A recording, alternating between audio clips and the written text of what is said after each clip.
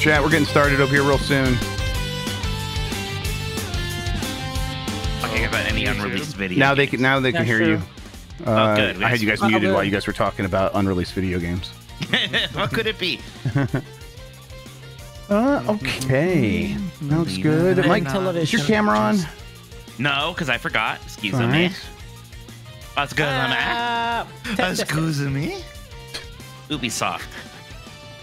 Oh my god. Mike, you hit that 10% No. already? What the hell's Don't going start on? already. No, this- Don't start no, this already. Guy's like a four percent. Oh, okay, okay. there is beer, but it's not strong. Oh yeah, I got one too. Ever since I got shamed out drinking milk with my dinner, I've been, you know, having beer with my burgers. You don't have to say it like that, like we're the bad guys. Look, you could like you could have a tea or something. You're the bad guy for drinking milk. Let's be clear Oh, here. wow, you brought back the Game Boy Advance one, uh, the the Final Fantasy Advance one. I like it. Yeah. Classic. Yeah, we should bring back some of the old ones. Yeah, it's been a minute. Shut up, Nikki. you deserve that shame. Get out of here with that. okay, okay, okay. Oh, okay, this okay, one has okay. the old typo of enjoy back. I yeah, love it. E-Joy. Yeah, enjoy the classic. Oh, Electronic yeah. joy for your gaming. Okay. Blah, blah, blah, blah, blah, blah. One of our CPU uh, did like send in, send in a corrected version of that, and I lost them. So, Cool. Yeah. yep. This one has character. Yeah, exactly. We still have to get the uh, Resident Evil one. Yep, I'll, I'll take care of that at some point. Nikki, Uh, both chocolate and strawberry milk are very good, but I love strawberry milk. That's like Looks Yeah. right. an irrational love. I know that that one's weird, but yeah, I really. I, I think that's the only one that I would like. The other, I don't like milk, but I could drink it if I had to. If I had to drink strawberry milk, I think I'd be upset about it. I would not be pleased. I just like straw. I like especially like Strawberry. the artificial strawberry flavor. I don't. I know it's Yeah, I that's know, a weird one, get but yeah. Um. Oh, we got a thing from Bop tonight. We got a uh, Okay. little fantasy correct thing. Oh, that we okay, can, cool. Uh, update people on. okay, I like it. Then get This is not in sale. Let check this later. Video games. We're doing 2015 video games, everybody. Also, so much fun we're gonna have today. How the fuck is Bloodborne almost a 10 year old game? That feels weird. I think Man, that's I, the most fucked up thing I've ever seen in terms of a game being 10 years old. I, I just scrolled past a tweet that was like, uh, Yu-Gi-Oh is like 25 years old. I'm like, that just doesn't feel Mm-hmm. right. Yeah. like Pokemon, pick sure, but up? Yu-Gi-Oh, I don't know. Okay. I think I am set up over here, I believe. Have you tweeted, Yes, sir? I Yeah. just tweeted. Yeah, that's what I was doing. Let's test the music. And by that, I mean I gotta turn that off, this up, and then let's get it up here on the stream deck.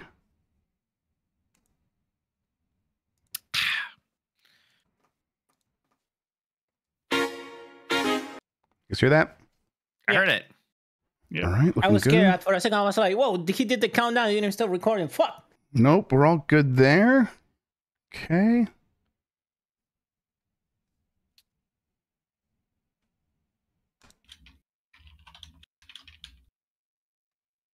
All right, let's uh let's do it. You ready, Mike? Let's sir. Do this. All right, I am going to count us in and get us started. I've In been waiting for this. Five, Gross. four, three.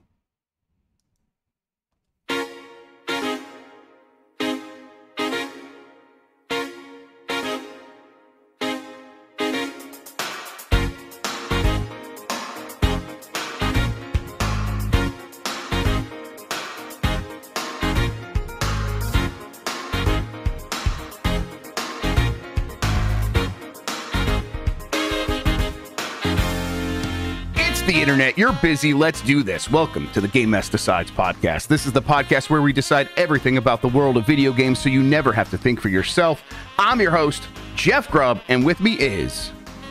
Mike Minotti. Could you tell how close I was to saying my name was Mike Minotti that time? I did not tell that. Real that close. great, really, really close. Uh, Mike, funny. how's it going? Wait, wait, today's episode, a podcast about a podcast. All right. Mike, how are you doing? Ah, yeah, I'm doing great. Yeah, we got a long weekend coming up here very soon. Yeah, we do. I know how I'm going to be spending it. I got this new Mega Man 3 Robot Master shirt that I'm very excited about. Uh, yeah, everything's everything's great. Nothing's Yeah. wrong. I'm going pretty good. Uh, Tell you what, that uh, that hey, you never have to think for yourself. If you've been listening to our podcast and like Game Mess mornings for the last two weeks, you basically already know everything that they, they said in that Xbox thing, where it was like all of their thinking, all their reasoning. Like we went over it back and forth, and it's all the stuff they've been saying for years. But boy, do they just lay it out there, like, yeah, hey, console isn't growing, and we would either charge you more money for everything or find other ways to do it, and that explains all the things that we're doing. It's just the conversation we've been having here for a long time. So, uh, yeah, we'll get into all of that here pretty soon. But yeah, I, Mike, I'm also looking forward to the long weekend. Uh, still playing a lot of games. I am like making the conscious choice here to take Balatro and put it over there so that I don't only play that because uh, that could be a real problem. I, yeah, go ahead. I did start Balatro. I did one run, like Yeah. my tutorial run, basically, and I get it. Yes. very fun. It's just it's it makes a lot of sense. It's very fun, and they uh they don't beat around the bush. The tutorial itself not itself is not even very long. It's like they do at a certain point. They're like, no, you get it. Just go. It's basically the game. It seems like, right? Yeah, exactly. And then you just you just go. It's great. I Um, like video games with Arcana cards. I'm learning playing that and then playing Persona. Like in real life, I hate that shit because people seem to actually believe it and I get mad. But in video games where it's just all flavor, yeah, that's fun. That's good stuff. Yeah. Um yeah, so playing a lot of games this weekend. P- play some review games for sure, but try to get a little bit further on Like a Dragon as well. Uh, I'm also I, I was like thinking about the Switch a lot because I did put Balatro on there, and um, like man, I think I'm ready to like go back and play some of these older Switch games I played before, and like have a good time with the system because I I feel like I'm wrapping up wrapping up our time with it. I'm like Yeah. re- I'm ready to be nostalgic about it. It's weird that we're there. It's Yeah. very weird that we're there. Uh, I guess, I mean, the Switch has been around so long now. It's been such a dominant force in the way I've been playing video games. Um, I, I, I, I'm, I'm close there, Jeff. I think I'm going to feel more like that once we really do hear about the Switch 2. And I really do feel like, yeah, there's not going to be any more like giant games. Like Princess Peach might be the last really big original game, maybe. But there'll be these remasters and ports, and I'm looking forward to some of those a lot, uh, like Thousand Year Door. But yeah, like I, I get what you're saying.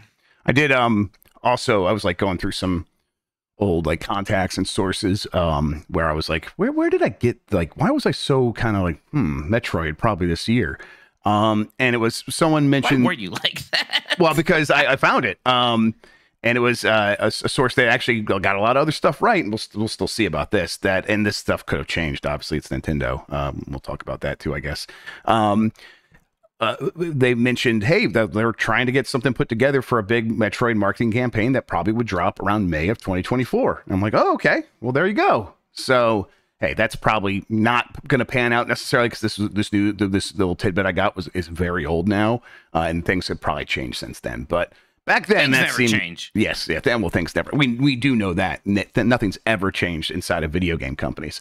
Uh, you know what? Thanks for joining us. You can get more from Mike and me at, at uh, our Discord at gamemess.net. Ooh, gamemess.net. Give us a good rating wherever you are listening and hit that like button on YouTube. It helps people find the show. If you want to ask a question, you can drop a chat, uh, super chat during the show. We'll a- answer all of those before the end of the program. Thank you to Carlos Ayin, who is insane in the rain music on YouTube for the use of our theme songs. Thanks to One Up versus CPU for our artwork. You can find more of him over at oneupversuscpu.com. Uh, we are on Spotify, Apple Podcast, and wherever pods are caught. And thank you to the mods. And you can also support us by going to patreon.com slash game mess. Uh, that gets you access to the private channels in our Discord, the monthly Q&A, participation in our monthly Game Club discussions, one month early access to new, new episodes of Game Mess Jeopardy and Columbros. New episode uh, is going up of, of that. Is it is that up actually? I think that's up now, right? It, that's up. That's up already. That's up. And Good job. Another one next week. yes, maybe. we'll have another one. We'll, we'll probably we should be able to make that happen. Last episode's about an exploding cigar, everybody. Yeah, you actually don't want to miss it. It's a good time. Uh, and of course, all of our shows ad free. Uh, so patreon.com slash game mess.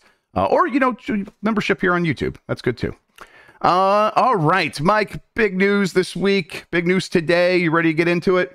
Let's do it. Let's uh, let's actually start with the with the direct stuff. Uh, you know, yeah, just r- real quick because it's like uh, I heard earlier this week, like I said on Nintendogs, that it would maybe get moved around. It was something they were at least discussing. I don't know what they ever ended up deciding. Seems like maybe they moved around, but but who knows?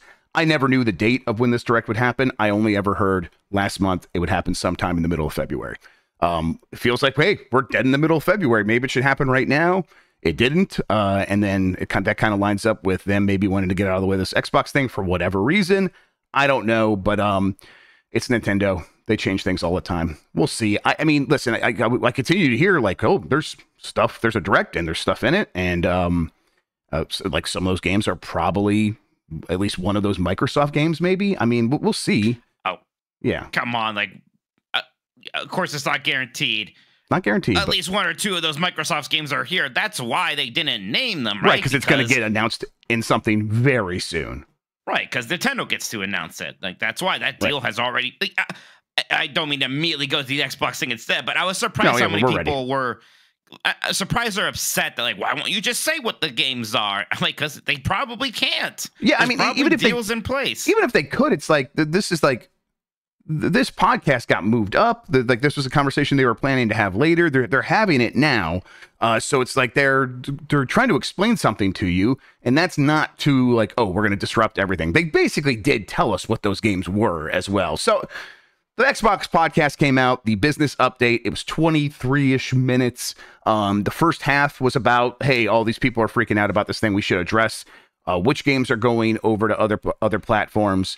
They said there's going to be four games, and that's it. I don't know if they used the term for for now, but they basically made it sound like this. They is- said this is what's happening. There's four games for now. There's four Yeah. games that are definitely happening. Yes. Right. They but uh, they didn't say what those games were, as Mike said, but they were like two like older games and two live servicey games, basically. And everyone's like, Is okay. there like two like more like social games? Two games that are like smaller things that, That have kind of reached their potential audience on Xbox. Both of them are they're all like over a year old. I mean, yeah, it, it- you, don't have to be Nostradamus here. It's it's Hi-Fi Rush, Pentiment, Grounded, and Sea of Thieves, Yep, right? it's it's those four games. Yeah, absolutely. And uh I mean this lines up with a lot of stuff we had been we had been hearing from a variety of sources. I had heard about Sea of Thieves and here it is. Um and then they clarified uh that Starfield would not be coming and Indiana Jones would not be coming. Well, here's what they said. What they said was Starfield and Indiana Jones aren't those one of those four games. Good point. You're right. You're right. And and it's like those things could also change in the future. It does. They did also say like um everything is on the table. Like they're they're willing to consider everything. Uh, is kind of how they basically said it. And then um. But that doesn't mean that uh, everything is coming at the same time. They're like, not everything is going to go to these other platforms. Uh, it, basically, what we have here is kind of like a pretty similar situation to what we had before. A lot of games from Microsoft are on Xbox for quite some time, and every once in a while, one of those games sneaks over to the other platforms. Now, the reason behind all this, they said that as well. We, we talked about it at the top of the show. They are looking to grow their audience uh, because uh, they, they don't want to just go and like, hey, we have this smaller audience in Xbox. Let's just find new ways to charge them money. Instead, let's try to grow our audience in different ways. Um, and and they I think they're also like working backward from the world has changed. They said this in this podcast as well, where hey, there was a time where the biggest fish in the pond was the console itself. It was everything serves the console because the console is bigger than any one game. And now they've had for years now like Roblox on there, which has a business of its own that is bigger than the Xbox. And they have Minecraft, which is bigger than all the consoles put together. And they um they see Call of Duty now and Fortnite. These things that are platforms unto themselves. And at a certain point, it becomes a little absurd to continue pretending that the console is the biggest thing and not these big games. And so I, I think that like that has changed their thinking, and we're seeing all the, the that manifest in these new strategies a little bit. But it, at the end of the day, this isn't like some huge shift. It's a continued evolution of what they've been doing for a long time. It, it is. It's a big step forward, though, right? It, you know, I don't want it to be be like, oh, they did this before. We had. That's you know, what they've been saying for years, though. Yeah, and you know, those were a while ago. It's been a long time, and these are going to be like four games. Uh, you know, and these games are interesting. It, it was. It was very interesting how they're kind of walking a tightrope here of being like, hey, like these four games are old. There's like really good reasons why we're doing this, and there are, and yet they're, they're still being like, by the way, like 10 years from now, what do you guys think is gonna happen? Yeah. right? Yeah, I Like, mean, they th- are still preparing us someday for something like Gears of War or Halo or, or, you know everything being everywhere. Yeah, I mean, definitely. They they see the writing on the wall. They know things are going to continue to change drastically, and they're yeah, they're they're dip, tipping uh, dipping the toe in uh, because they know the Right. way that the wind is blowing, and they've been moving in this direction for a while. This is just the latest manifestation of that, I think. And Yeah. they said they're gonna. They're, they said they're gonna see how these games do. Yeah, They're gonna see right. how these games do. and I, I bet I bet that leads them to doing it with more games. Big surprise. Um, some other things. I mean, they said like no fundamental change to exclusivity. I think that means for the most part, most of these games going forward are going to be exclusive to Xbox for some time. Um, maybe not Yeah. three years, but at least for some time. And uh, like if you want to play uh, an Xbox game as quickly as possible, you're either going to get it on PC or, or Xbox. Uh, they mentioned that there's 34 million Game Pass subscribers. That does include the Game Pass Core, which previously was Xbox Live Gold. Not Yeah, some. is that number bad or good? Or because I've bad, been seeing mixed things. so I think it's, that? it's pretty low. I think if it's pretty low, if it includes people who were on Xbox Live Gold before. I mean, What's wait, what? Why? Like, why aren't more people getting Game Pass? I guess. I mean, there's only so like if like based on the the Take Two numbers about how many uh, uh, you know consoles are in the world from the Xbox Series X and S and PlayStation Five generation. Uh, there's about 25 to 27 million. Excuse me, Xbox Series X's and S's in the world. People could still use a Game Pass on PC and Xbox One. How many people are still playing on Xbox One, keeping a subscription? Probably not that many. And then on PC, it's like people are just on Steam. So yeah, it's growing double digit. They said there's double digit growth in cloud and on PC, uh, but it's a much smaller pool, so it's easier to get that double digit growth. And I, I just think it comes down to the people that would take advantage of it on console have it, and that is a limited number. And they were pretty clear. Like, don't don't expect Game Pass to be on these other platforms like PlayStation. Yeah, they or- said that's not going to happen. Yeah, That's not going to happen. Like, the fact they kind of left out it up as a reason for why like Xbox consoles are still special and have inherent value. Yep, absolutely.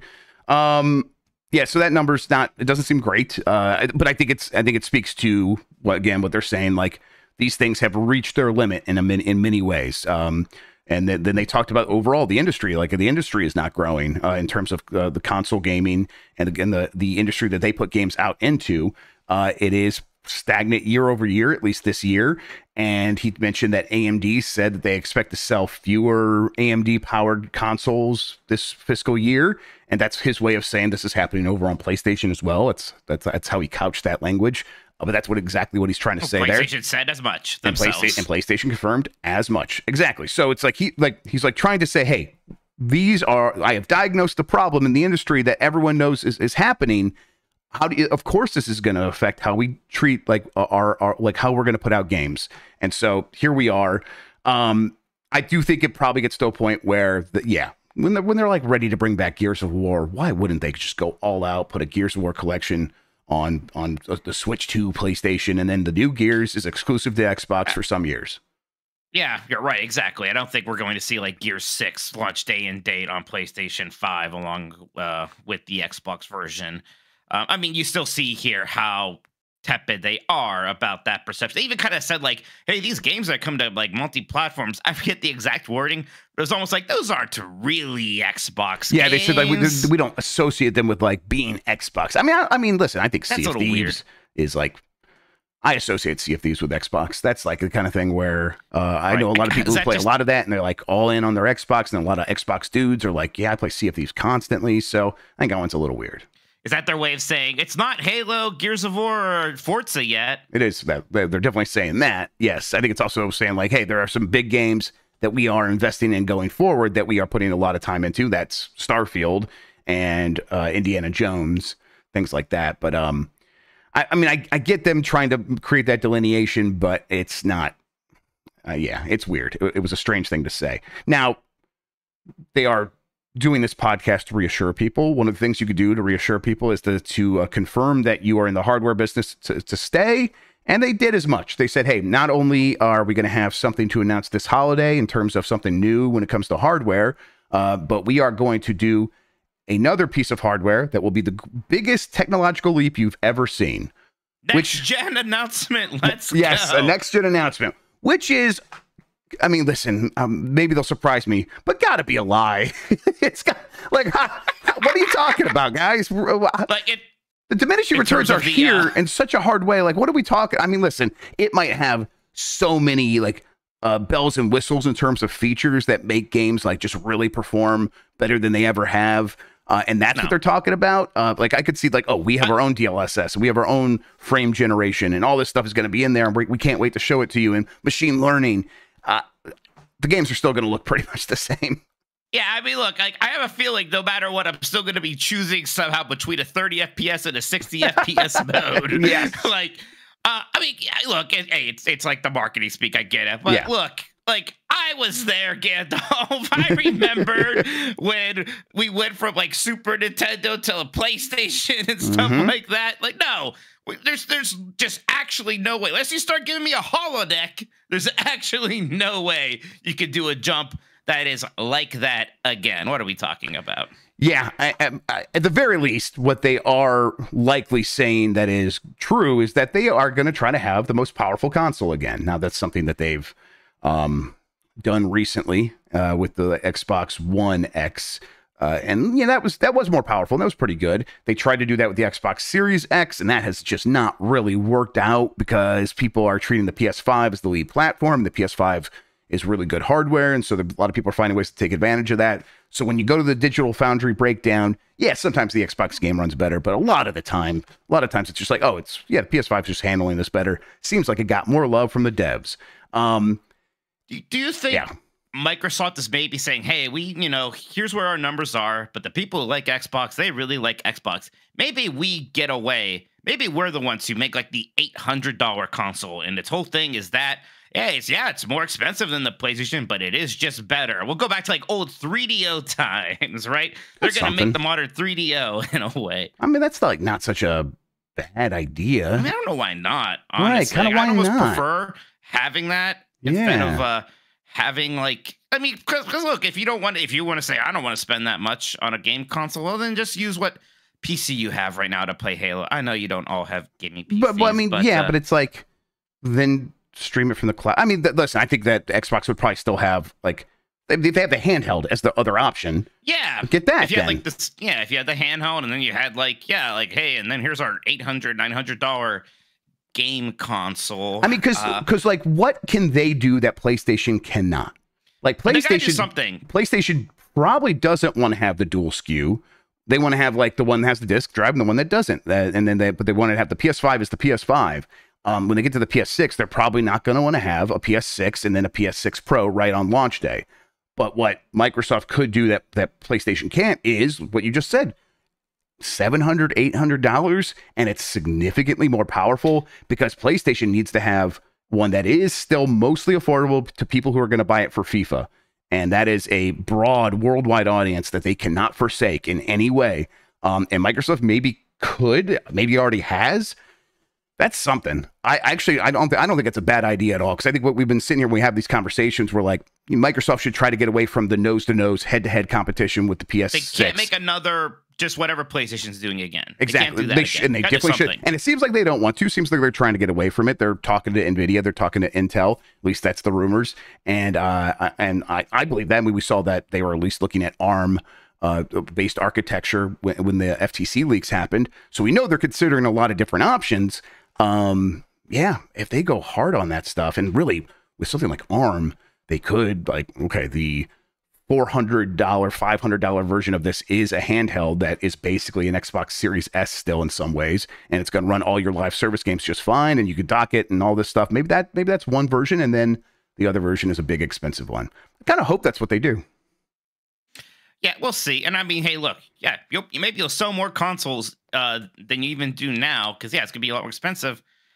But I don't know. You differentiate yourself. Uh, but hey, look, this is uh, fantasy booking at the moment. The point is that Sure. there's they've got to do something different. They can't just make the Xbox equivalent of the PlayStation 6 the next go around. That clearly just didn't work here. Even when they did have the Series S to sort of differentiate a bit, wasn't really enough. You had Game Pass to differentiate a bit, wasn't really enough. You, there's got to be something a bit bolder in terms of Yeah. making it clear that there is a difference between Xbox and PlayStation. And again, like there is a little bit of that. I'm hearing two stories there because you know they are talking about hardware still and how it is important, but then it is also still this message of we're going to meet you where you are. Um, it you know it doesn't matter what platform, uh, things Eh, like it- that. it- the truth is, they're they're going to do both. Uh, Yeah. I, I don't think like you know, the idea is not to like replace one with the other. I think they know that they can do more and keep a lot of their business intact. And, um, uh, but it is, it does require them, like you said earlier, to walk a fine line to avoid feeling like people are going to lose access to something. That is something they spent some time talking about uh, as well. Where it's like we understand the people invested in their in their games on our platform, and we put a lot of like time into like cross buy so that you have your game and and if like you don't have an Xbox anymore, well you can just get it on PC now and stuff like that. We support that. Like that's what we want to keep happening going forward, and we want to expand that and do that in new ways. Um, so th- th- yeah, they're it seems like they just want to keep adding new things to bring in more people. Um, I do think that does diminish the uh, immediate immediate value of the console of the hardware itself. Uh, but I don't think they're trying to diminish that to zero. They're just like trying to recognize that they're uh, that they need to do more, and so they need to be in more places, and that inherently just lowers the value of the console a little bit. Um, they also uh, talked about hey, they did have some good news. Diablo Four is coming to Game Pass on March 28th. It's it is interesting that the first Activision Blizzard one is I think at the end of last year. Uh, the uh, Diablo team was like, "Well, no, that's not fucking going in Game Pass. You guys are crazy." Um, and now you're right. I forgot about that's that. the first one in Game Pass, which I'm I'm not surprised by at all. It's the one that made the most sense, and I don't think many You would- people are surprised by it. No, I mean, come on. It's a game that's you know it's on consoles, it's on Xbox, it's on PC. Now, like I'm not. Am I gonna be able to play it on PC Game Pass? I assume not. Right? That's only on the console. That's something I'm a little curious Ah, about. I don't know. You I'm- can't. You can't install Diablo 4 via P- the Xbox app, right? You gotta. no, have, I that's that's probably right. It's probably just console at first. Probably just for the console, I imagine. I don't know exactly how that works. I mean, I guess They can just they can they can just tie both. your yeah, they could just have the, the like the launcher. Uh, chat saying it's on yeah, both. can- I they guess. can Yeah. just tie your your your Battle.net account. Right, the way that it works, account yeah. and A lot of games require you to like that. I launch mean, like on chat's Steam. They already announced it for PC Game Pass. So There you go. They, all right then. There they, you go. they did like clarify it won't be going to um uh, uh Game Pass core members, and like people are like like acting scandalized by this. I'm like, guys, those are the Xbox Live Gold people. This is the way it's always been. What are you talking about? Yeah. Like, there's no change there. Yeah. Uh, but whatever. Um, it's more people that could potentially buy the sixty dollar horse armor or Uh-huh. whatever in that game. yeah, some weird monetization in that game for sure. Uh, and I, I think they'll be happy to welcome a lot, a lot of new people in there through Game Pass that you're right can be monetized in other ways. And I bet a lot of people actually do end up converting because a lot of people like Diablo. Um, and then was there? Uh, oh yes, they also mentioned uh, that they have a lot of games in the works. They uh, um, Booty Matt Booty said there was like ten games for this year. There's a bunch that have already been announced. Uh, maybe there's a few more that they haven't like talked about explicitly, but he said ten games. Uh, not all of them are going to be like the biggest like AAA games. There's it's a scale of games, but ten games. And then um, he said they're going to have some new stuff to talk about at their showcase in June, confirming that there will be another Yeah. showcase in June around the time when we used to get E3. So yeah, hey, uh, how'd you feel about this being a podcast? I'm like completely fine with it. I get it. A lot of people said it could be an Xbox Wire post. I agree with that, but I think it's fine as a podcast. I, I look, I, I'm saying this as somebody who's doing a video podcast right now. I think calling that a podcast first and foremost was a little strange. I mean, Sure, you could have just yeah. called it a presentation or something, whatever. But whatever it was, I thought it was pretty good. Uh, it was kind of it was short and to the point, even though it was mostly talking heads.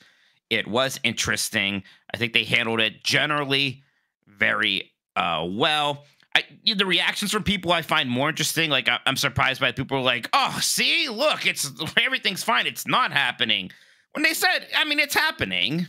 Like, oh yeah, yeah, know, yeah. And there was a lot of uh, I saw a lot of YouTube videos where it's like the leakers were wrong. So well, fucking half the games that we talked about are in there. They confirmed they're coming. I what are you talking about? I mean, Uh, I don't think that's about Starfield. And but you're right, the way that they talked about like, people are not recognizing what's happening. I've seen a lot on both sides where it's like, hey, this confirms my preconceived notions, and I'm like, oh great, cool. So we're just going to be back to all this being the it, same it does tomorrow. seem like a lot. Uh, it, there was a little bit of like a Rorschach test of this, where a lot of people saw from it what they wanted to see in it. yes. I And that's, guess. and that's annoying, but I'll just ignore those people. That's fine. We will we'll be completely okay. Um, uh, yeah, I, I thought it was pretty well handled. I thought that they uh, talked in a way that was honest, in a way that is refreshing, as they often do.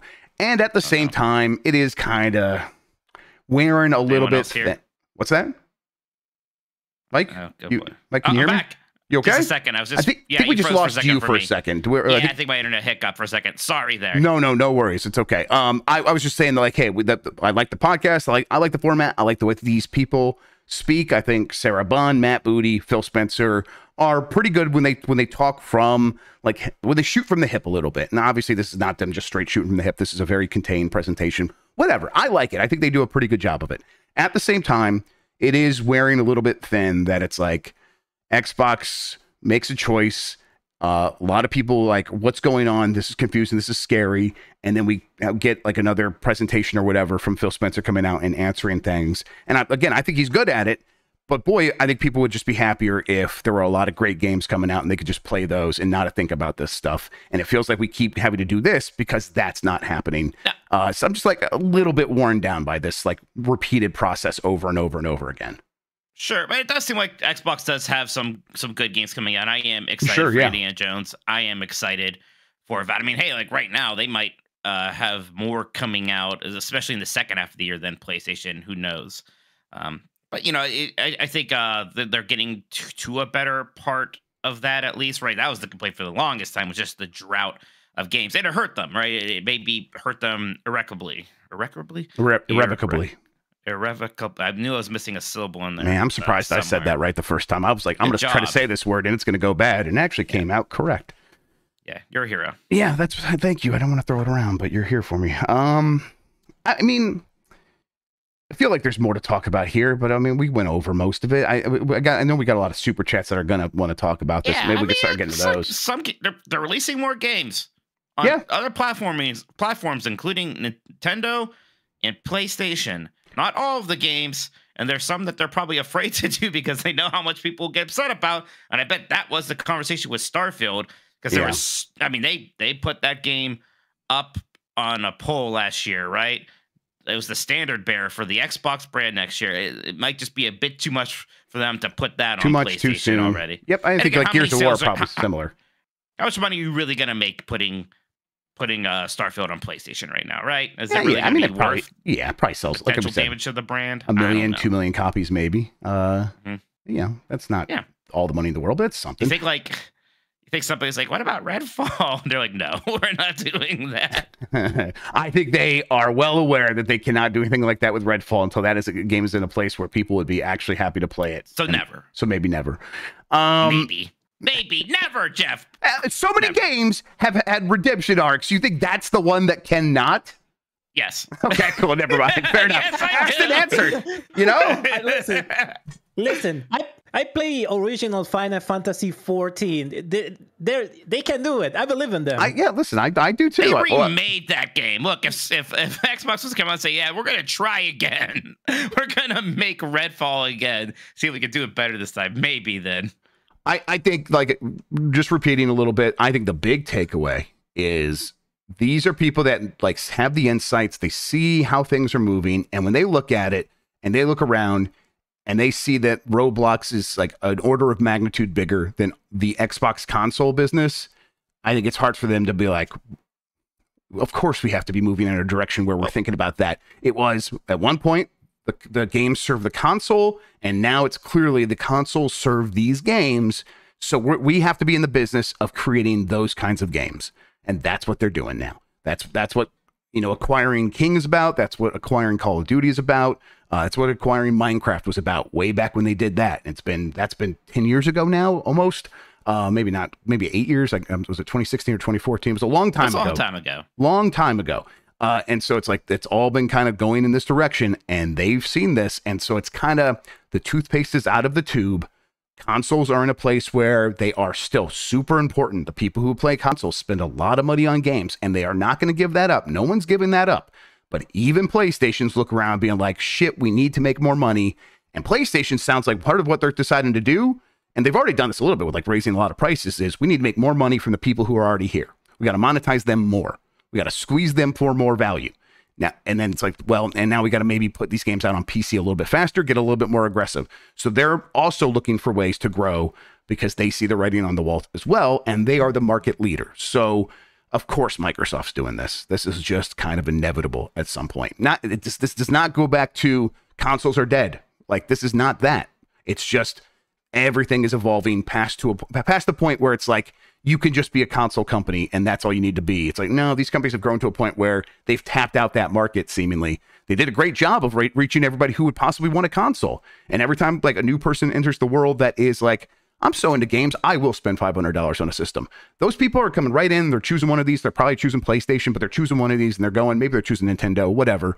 But that is not enough to make sense for the growth that these companies require to service their investors. So, uh, yeah, things had to change. We are at that point right now, and oh well. Um, Everybody's sp- freaking out. So, yeah, yeah. I, I, I, guess that's my if, if your takeaway from this and everything that's been going on as well, it's guess it's just business as usual. Like maybe on some surface level, but no, no, things are changing. Yeah, I mean, um, you know, twenty like they, they said this in the spot, like twenty twenty three was so good and with games, and yet there wasn't much growth. It's yeah, so if a year like that can happen, and people aren't rushing to go buy consoles and, yeah. and play games, and PlayStation misses their target. Like I guess this, you know, this is news we could talk about a little bit. Like PlayStation was wanted to sell 25 million. They're only going to. They are now lowering their target to 21 million. PlayStation 5 sold and they are going to probably have a roughish time getting to that despite all throughout 2023 the ps5 being aggressively on sale down to like $350 at point $400 on sale and like all these amazing games you could play resident evil 4 you could play baldur's gate 3 right they didn't have to right. like make a version of that from a box of scraps like they did on xbox that was all right i was always on playstation and alan wake and all these games that you know oh wow this is generational games and targets are lowered. Yes, that's not great. No, yeah, I mean it's it's a sign that stagnation is here for consoles, and it, that mean there was probably another growth spurt in the future at some point.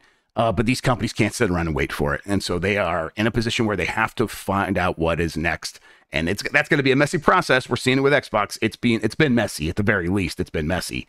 Uh, PlayStation has um, a little bit more leeway in that they are the market leader, but they uh, have a little less leeway in that PlayStation is the successful business at Sony, and everything else is kind of on fire except for a few other small segments of their business. So it's probably going to get messy for PlayStation as well.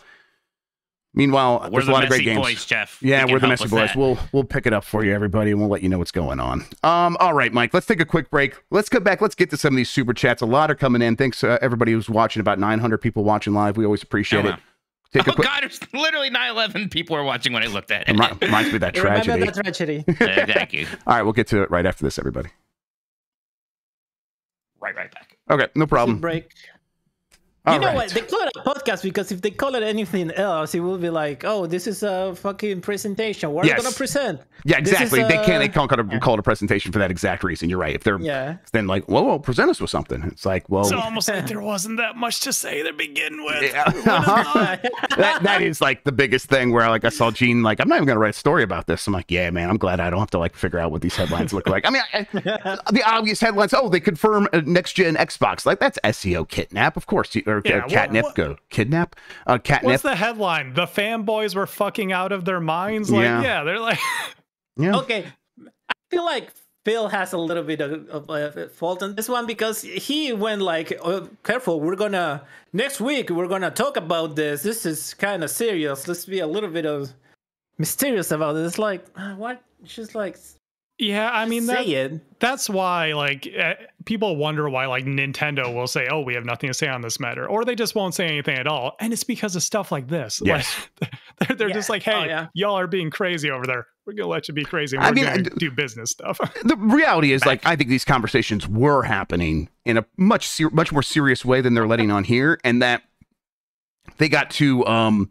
those rumors starting to come out, and then they're like, "Well, we're gonna have that conversation like in a couple of weeks, like maybe maybe like more than a month away." Uh, do we have to wait till then, or what's going on? It's like, oh no, we have to make decisions now. So let's just make the safe ones. Let's do do this stuff, and we'll just pull back, and we'll revisit these conversations in a little bit. Because 100%, everybody, let's just like reiterate this gears of war was being talked about in a pretty serious way like that is 100 that was being considered doesn't mean it's happening doesn't mean it's happening right but it's like it was being considered enough to the point where it could have happened um and so like like that clearly they're like well let's not worry about that right now let's just talk about the four games that we know oh, are man, happening if they were talking about it i'm sure this scared them off it a good yes bit. exactly right and oh. i think they're oh. they were happy to like retreat from that for now so they could just go have this podcast get that out of the way talk about those four games and then revisit right. that stuff a little bit later after they put out some games that people are really happy about and they can be in a better spot. And it's like, oh man, that Indiana Jones, that was really great. And we played that exclusively for, for quite some time. And it's like, oh, you're going to put the Gears of War collection out on PlayStation? Who gives a fuck? Yeah. All right. Yeah, I bet people will care anyways, but yes. Yes, of course, they, of course they will. All right. And we're back. And Mike, we got some super chats. Why don't you read those to me? Yes, Z, thank you for joining our Lincoln tier here thank on you. Game Mess. Brogan95 says, uh, Hello, Jeff, Garage Shrimp Grub, and Mike and Noki Party Minati. I'm looking for a gaming handheld and can't decide between the ROG or the OLED Steam Deck. Which would you choose to uh, buy and why? We haven't really hashed this out yet, Jeff, but I think we're on opposite sides of the fence on this one. Well, I think I, am like, like I'm, nuanced, I'm, I'm, nuanced on it. Like, uh, if you are someone Not who me, I'm a simp. Oh, well, that's that's fair. Yes. Uh, I, if you are someone that wants to play uh, Xbox Game Pass games, or you want to get uh, some of those other um, stores, and you don't want to worry about like going into the desktop mode on Steam Deck, which or, or dual booting Windows and stuff like that, which you almost certainly aren't, then the ROG Ally is a really good choice, and you're going to be completely fine with that. I would I would still probably pick that over like the, the Lenovo Legion Go and some of those other ones. Uh, but I, the Steam Deck OLED is the better handheld device. It really is uh, in terms of better, much better battery life. That screen is gorgeous. Uh, the the audio is actually better, and even though it's very good on the the uh, ROG. Um, and then the like just. using the device as a, something you take with you and you can like log in everything and it just kind of works. It's much better at that as well. But the ROG Ally plays games better uh, once you're playing the game, and uh, it, it, can play all those games I mentioned before from like the uh, Windows Game Store and stuff like that. But yeah, I mean, yeah, you're all in on the ROG, right? Yeah, I mean, look, what I like about it is that, uh, like, I think it's more comfortable than a Steam Deck for me. I really like those analog sticks. I don't know why, but those always feel good to use. Um, I like the user interface. It makes it very easy to get into all these different uh, game launchers, whereas Steam Deck, you have to work a little bit to get into anything that isn't Steam. Correct. Which, you know, obviously it's fine. The downside is the battery life. I play like in the same place on my bed, so that's not a giant problem for me. But if you like want your gaming handheld to be really portable, then maybe you don't want the ROG. Yes, yeah, I, I think that's right. All right. All right. Colin Allwood says best milk flavor. I think the answer is cheese. Gross. Um, well, not cheese flavored milk, just like you know, just like cheese. Oh, oh! Once milk becomes cheese, that's the best. Okay, well I then I'm with you on that. Gross. They're practically the same thing. You're like, eh, well, disgusting. Because I, I, thought you were saying cheese milk, like which was gross. Cheese milk. That's just that's just milk. Uh, okay, but you could definitely make milk more cheesy. Like, definitely, and that would be disgusting. Yeah, just leave it out for a while. but uh, cho- chocolate milk, if you have to have, like have milk in the name, yeah, chocolate milk's the best. Chris says, I think I'm more worried about PlayStation's future than Xbox's. I mean, Jeff, look, I think you know how good a soundbite it is because you keep saying it, and I don't blame you. But yeah, PlayStation won the console war, and so what? Yes, I mean, right? it's like in my head, it's like, man, I need to just make that YouTube video because that's a good YouTube video headline. It's because it's, it's true. Yeah. Like, yeah, wow, look at Xbox. They're gonna put start putting their games on PlayStation. What? How? How is PlayStation celebrating? Oh no! yeah, exactly. Uh, I eh, like worried for PlayStation's future. I mean, listen, these companies are going to figure a lot of stuff out, and it's mostly going to be fine. I just, for me, my perspective is I like playing games, and I am finding a ton of places to uh, derive good games from. It's not usually these days PlayStation or Xbox. It is occasionally them, and sometimes they're facilitating those games. I love Pentiment. I'm really looking forward to Final Fantasy VII Rebirth, uh, but uh, 90% of my gaming time is coming from places like Steam and and uh, and, and other places like that. So uh, I'm hey, they'll figure stuff out. They'll be fine. They'll make a lot of money, and they'll make even more money in the future. L. Grug says, knowing what you know now, rank Sony, Microsoft, and Nintendo on how well you think their 2024 will be. Also, yay, alcohol, Mike. Yes, I have a, a golden ale from Penguin City, almost empty, sadly. Um, I mean, Nintendo's a bit of everything. Everybody's a question mark, I guess. Right. Uh, if Nintendo has a Switch 2 with a 3D Mario game, then they just win for me, of course. It's going to matter more than anything. Um, I think Xbox's like gnomes are very exciting. I'm very interested in that Indiana Jones game.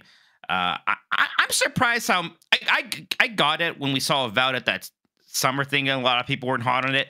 I'm surprised that some people are still kind of like that with the last showcase. I thought the last showcase was good for Avowed. I, I think you I think you're underestimating the number of people who are like they played Skyrim and they're like, I hate the way that this combat feels. And Avowed look looked enough like that to them where it's like it's that weightless sort of swing of a thing, and people just have a visceral reaction against yeah. that. I don't mind that. I have a ton of fun with the combat in Skyrim, and I think Avowed looks like a lot of fun. But um, a lot of people just kind of go, oh, gives them the heebie-jeebies when they see that. Sony has actually some pretty fun stuff at like the beginning of this year. Right. Rebirth is going to carry them a long way. Yeah, Helldivers 2 is fantastic. Final Fantasy 7 Rebirth is coming soon. I you know, I think we're all kind of like, well, geez, uh now they're saying they're not going to have any like uh franchise games coming out this year, which I, I, by that I assume they mean like anything of like a God of War. Ghost. I get, they Ghost said God of War, Spider Man is their example. Might, What's that? Their examples were Spider Man and God of War. They said that's right. the level of game that we're not going to have. And Ghost of Tsushima is on that it level, is. and I thought we might have gotten that sequel this year. Now we clearly aren't. So it is coming this year. I don't know. Yeah, I mean, uh, like I like I said, I've heard Astro could could still make it this year. That'd be amazing. It's fucked up they don't consider that a franchise. Like, I mean, listen, it sold better than any of those other games, right? Fifty-four million copies.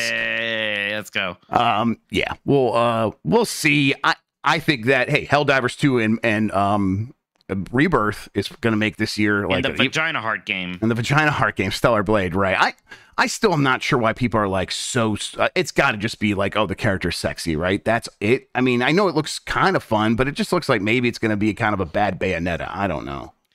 I think it's gonna. Uh, I mean, it looks a lot. Not a bad Bayonetta. A, gen- a generic Bayonetta. I don't know.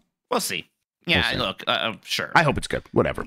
Um, I, I think right now, uh, a lot for Microsoft rides on how good Indiana Jones is going to be. If Indiana Jones comes out and it's mid, uh, it's a bad year for Xbox again.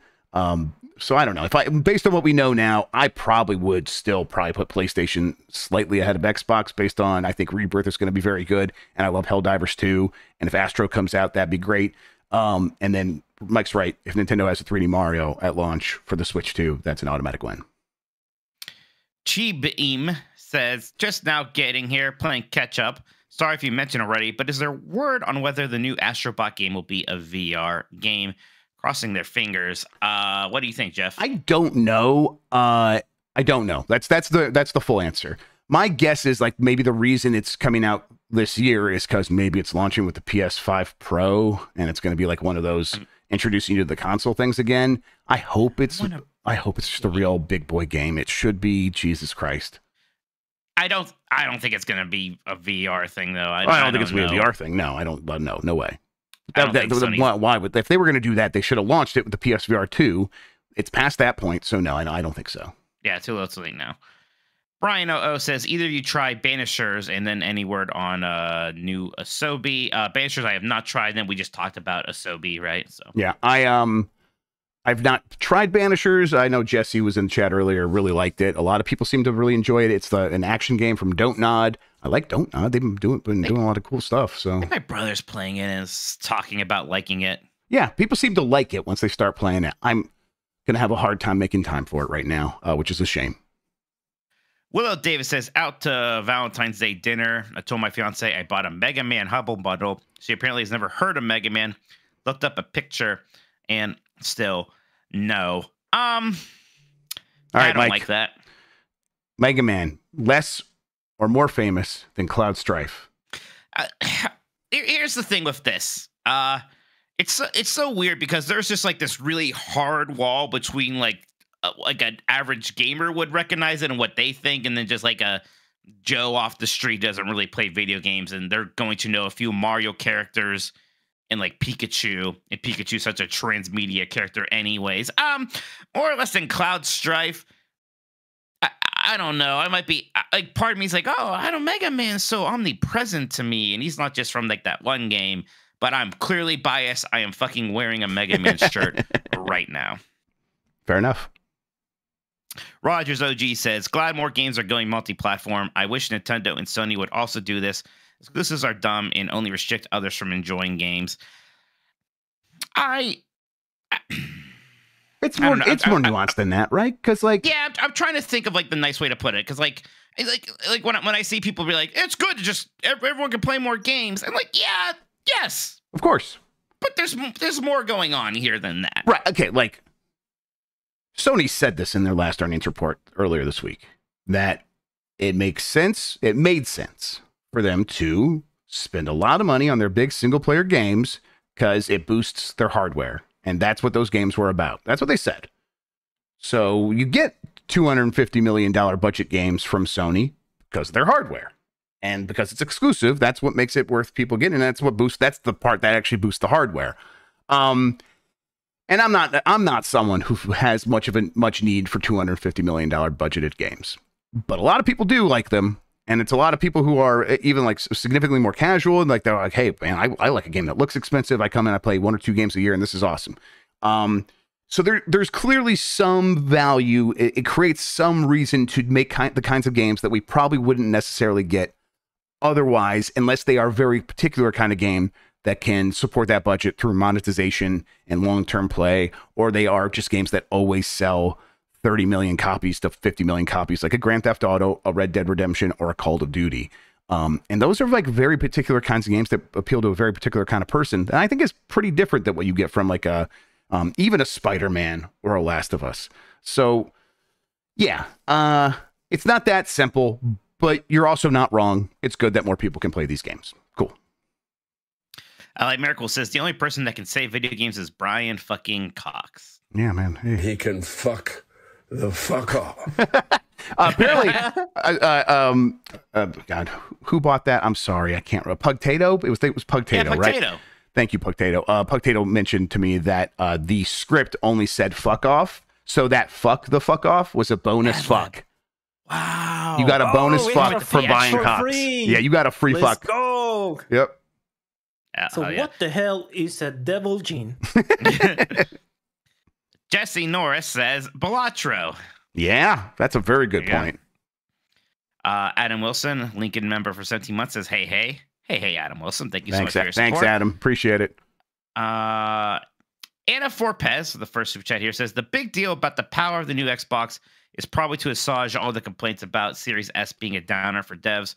Also, great job on Mortal Kombat Mythologies, Mike. I called March, but you might be done in Feb. I that would shock me, but you might be, maybe we'll see. We'll see. Thank you so much, Annie. Um, you think this is uh, yeah, Annie for think... president, Anakin Skywalker for president? You think that's what that means? Oh, okay, yeah. Also, it's yeah. a swage. I'm not. I'm sorry. That one I just wanted to help you with a swage. What's this? Uh, what did I say? A sage. A. You're right. I know that word. I, know, okay, I don't know okay. why I said a sage. That one. That one just really got me. Well, I was like rolling, like, oh no. Look, I deserve that one. A sage. Uh, that's funny. Okay. Um, but uh, you think there's going to be another Series S equivalent, or you think just the handheld will take? It? I think they're going to get m- more creative than just two SKUs of the same box. So, yeah, yes and no. Um, there will be multiple ways to play something called an Xbox uh, that is still Xbox hardware. It probably won't look exactly the same. Uh, Nancy says, with Hi-Fi Rush coming to Switch, do you think this means a native Xbox One slash PlayStation 4 version will be announced? Of the four games rumored, Hi-Fi Rush is the only Series X slash S exclusive. Surely they want to tap into the massive PS4 user base. I mean, do you, do you think it's worth? I, I guess that's a good point. If you're making it for Switch, and then you're going to bring it to at least PlayStation. I don't. Maybe they're not going to bother bringing it to like the old Xbox you're gonna bring it to PlayStation, do you try to release it for PlayStation 4 also at that point? Hmm. Yeah. I guess, yeah, right. That's what I was like. Hmm. Yeah, I guess. I, I mean, yeah, why not? That if that unless feels... we're just at a point where we really think like we're just done releasing games on PlayStation 4, which I mean, there's still a lot of PS4s you, out there, I guess. I think right? you put it on PS4 because that like is like magnanimous in a way, uh, where it's right. like, hey, we're putting out PS4 games, even if Sony's done doing it. I don't know. Like it feels like, yeah, what you like you like the dick, big dick energy yeah, of it, a little bit, yeah. Yeah, I don't know. Like, it feels like if the game can run on PS4, you put it on PS4. I think that's probably going to happen. Big Fresh 37 says, play Captain Toad, you goobers. I would like to. Don't know if I'm going to have the time. Uh, we'll maybe, maybe, that'll part, be part of my uh, Switch nostalgia tour. There you go. Zach Burhan says, Can you give your thoughts on why there is so much backlash on something that should be celebrated? Why are people unhappy with the proliferation of titles that have traditionally been locked to a specific platform? Yeah, we're talking about this a little bit. It's just it's just not really that like that simple to me. Um, because you could like maybe this does damage a brand, and maybe it does get to a point where uh, oh, like oh, that plan was kind of this ambitious plan because the other thing wasn't working, and um, you know, uh, uh, like why is something a plan B, right? Because it's not your first choice. Yeah. So your first choice was to just make all your games for Xbox. Maybe that's not working. So now we're moving to the plan B. Well, plan A doesn't work. Then plan B also doesn't work.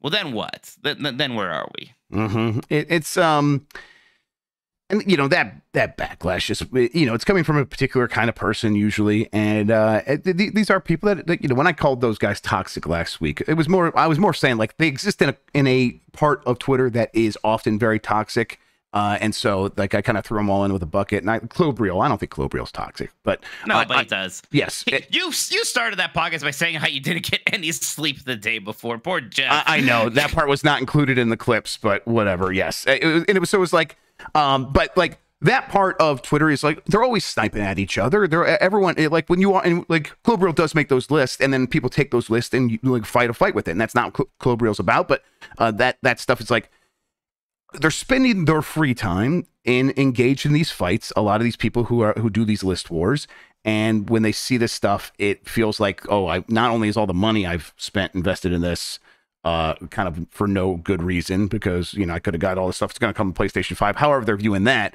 Really, it's about I've built this identity to protect myself from FOMO, and now that is being undermined, and that is you know that's getting to people's identities, and that is really uh, unsettling to some people. Uh, Ariel Delgado says, "Do you think Hi-Fi Rush Two will be a bigger game? Sixty dollars? Question mark. All right. Here's my first question: Is there going to be a Hi-Fi Rush Two? Uh, yeah, I think so. Um, I do. Uh, Hi-Fi Rush Two, uh, like they like that studio a lot, and I think part of this is, hey, we we you guys liked making Hi-Fi Rush. We want to enable you to do that again. Let's make it make sense. Let's get it out everywhere. You guys want to put it out everywhere? Okay, great. Let's keep investing in this and keep it going. Uh, I hope it's sixty dollars. I look. I like again. I hate to be. They should charge more for something. Thirty dollars seemed really low for iPad. At least forty. Like yep. we're inventing like a price range for a game. What game comes out and costs thirty dollars? They're they're twenty or forty usually. Um. So yeah, I I I hope they find some. Look, you could just release a game the same scope of Hi-Fi Rush and say it's a sixty dollar game to me and I'll believe you. Just pretend like it's a bigger deal. Uh, I hope they find a way to justify to the people who are going to be sensitive about that kind of thing. Agreed.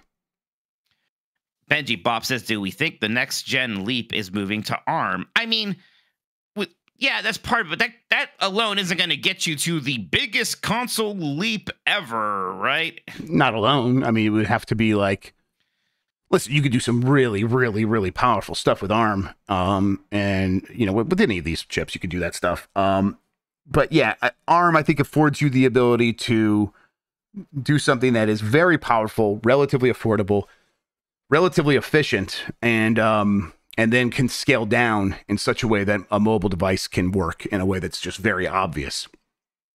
Now, uh, do they go that route? There's no guarantee. I mean, he name dropped AMD during this thing, and now he was saying AMD is like they're worried about their sales. So uh, that's not necessarily like we're all aboard on the, the AMD boat, uh, but he is you know still talking about AMD like a partner and stuff like that. So they probably at the end of the day still go with AMD. Um, and AMD is getting very good at efficiency, but it's just ARM probably is the future still uh, for a lot of these consoles. It's just not the immediate future. Soul Scream says, "Is Sony really the market leader over Nintendo?" Um, real quick, uh, yeah, just a. Uh, Stephen S says RISC-V. Yeah, when we say ARM, that's shorthand for it. It could be RISC-V as well. Uh, what was that question again, Mike? Sorry. Yeah, is Sony really the market leader over Nintendo? You're talking about yeah, I mean, the market leader. Uh, it, you know, it depends how you count them and all that stuff. Really, what I say there, what I mean there you never is, sounded more like Columbo in your life, by the way. Congratulations. uh, but, but what I mean is, uh, Xbox and PlayStation are going head to head. So one one beating the other there is actually something. Nintendo being like, yeah, we own the handheld space and we turned our home console into our handheld, and now we're continuing to uh, own the handheld space. They won by not competing necessarily head to head with those other companies. They're like going to go do their own thing. They are clearly still competition. They clearly have um, a je ne sais quoi that these other companies wish they had in terms of selling games and selling hardware and appealing to families. Um, and if I had to choose any one of these companies to just like hey, you, you, Genie forces you to become a, a, video game company and you have to live the rest of your life as one of these companies. I would choose Nintendo because I think they have the most of this stuff figured out. So if you're asking for my opinion, I think Nintendo's the leader. Uh, but when we're talking about Microsoft and Sony, we are I was talking about something very specific.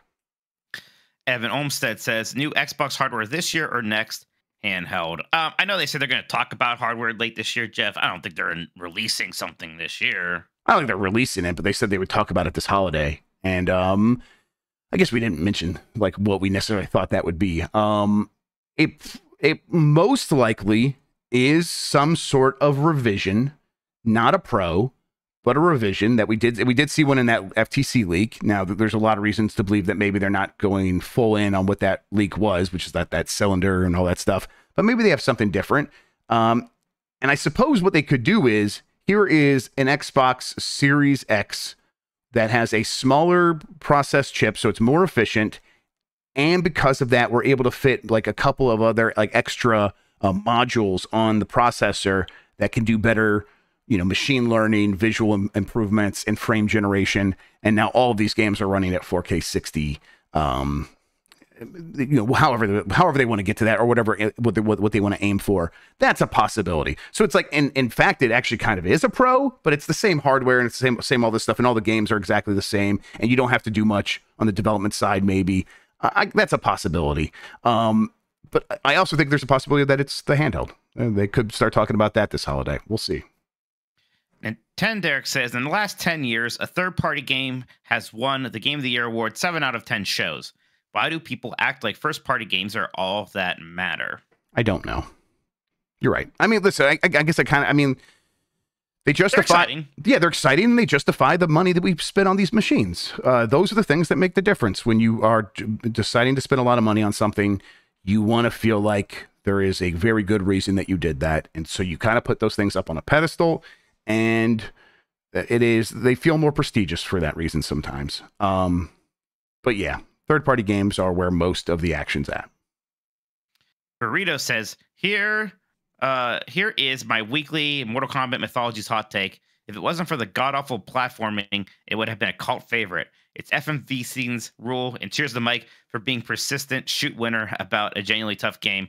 Yeah, the fighting's not great either. Um, there, there is a lot that like I do actually kind of like about Mortal Kombat Mythologies. Oh, yeah. For sure. Uh, and yeah, like there there could have been a cult favorite game in there. Absolutely, it kind of is this cult game, anyways, and a lot of it is with the baggage of it being terrible, which is a shame. But yeah, uh, I know what you mean, burrito. Those FMV scenes are fantastic. They are They're so good, so much fun. there, I mean, that dejected Sub Zero is going to live I, in my head for the rest of my life. I can't believe it. It's just so. It's so exactly Charlie Brown. I couldn't like, believe it that had to be like the sixth take. And at first, he like, all right, now go downstairs sad. And like, we said sad. He's like, I'm wearing a fucking mask. What do you want? Look sad. So he like angrily right. did the Charlie Brown thing. You're, They're like, perfect. Mike, I think I think you're 100 percent right. That scene, yeah. the acting in that scene reads like I am going to overact because I'm pissed at these stupid fucking directors asking me to do this stupid shit. So I'm gonna do a cartoon version of being sad. And then they were like, well, now we have to use that. So yeah, these people who know nothing about action movies, like, I read an emotion in that. That's a good take. uh, Pra 7X13 says Jeff, big DLC, Daddy Minotti, and Mike D's nuts grub. Long time listener, first time chatter. Did I do this right? Just wanted to finally share my appreciation and love for all the hard work you two do. Thank you, Pra. Really appreciate it. Thank, Thank you, you, Pra. Really, yep, I appreciate it as well. Mickey O'Leary says crawling across the floor past all those we lost in the console wars, like Saving Private Ryan's intro this week. But what does this Xbox podcast mean for Tommy Tallarico? Oh, Tommy's got to be back. He's a ba- he's back in the back. game. Everybody, it's it's it's his time to shine. Um, before uh, was this before we went live, Sean? That uh, Amico announced uh, some news today. They amount. Yeah, we talked about that before. What, what, what? It was the name of their mascot. I didn't read no, the no. full article, but apparently, yeah, they named their mascot. Uh, Did right. they say the name?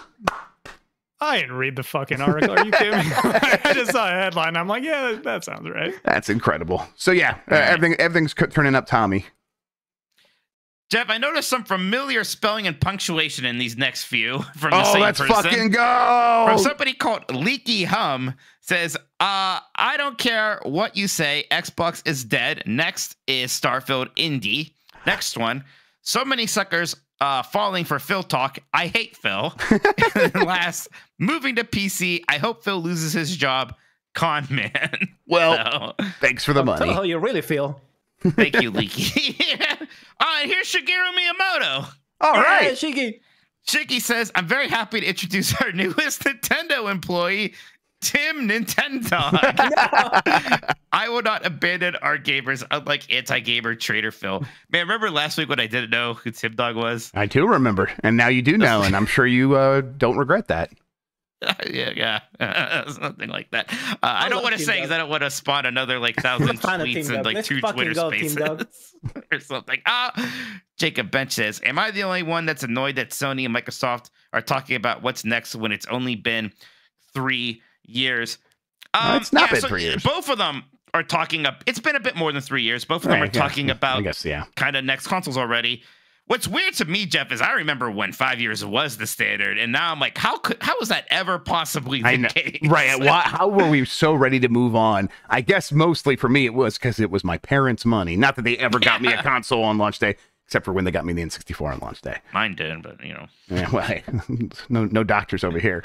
Uh, sorry, sorry, I did just fine. I was, I'm not like I was impoverished or something. Um, yeah, uh, it's, it is. A lot of people are going to agree with this, right? A lot of people are like looking around, being like, "Why are you talking about what's next?" Now, I don't think they would have been like, we like this week would have said, "Hey, we have a more powerful console than ever coming." Uh, if they weren't forced to talk about hardware in some way this week. Um, or maybe they were going to talk about this podcast always. I just don't think so. So yeah, if they're talking about what's next, that's still probably not, you know, it's several years away, at least two more years away, but probably closer to like three. Uh, El Grug says, I'm going to ask the most important question I've ever asked you guys. I'm going to Sheetz. What should I get to eat?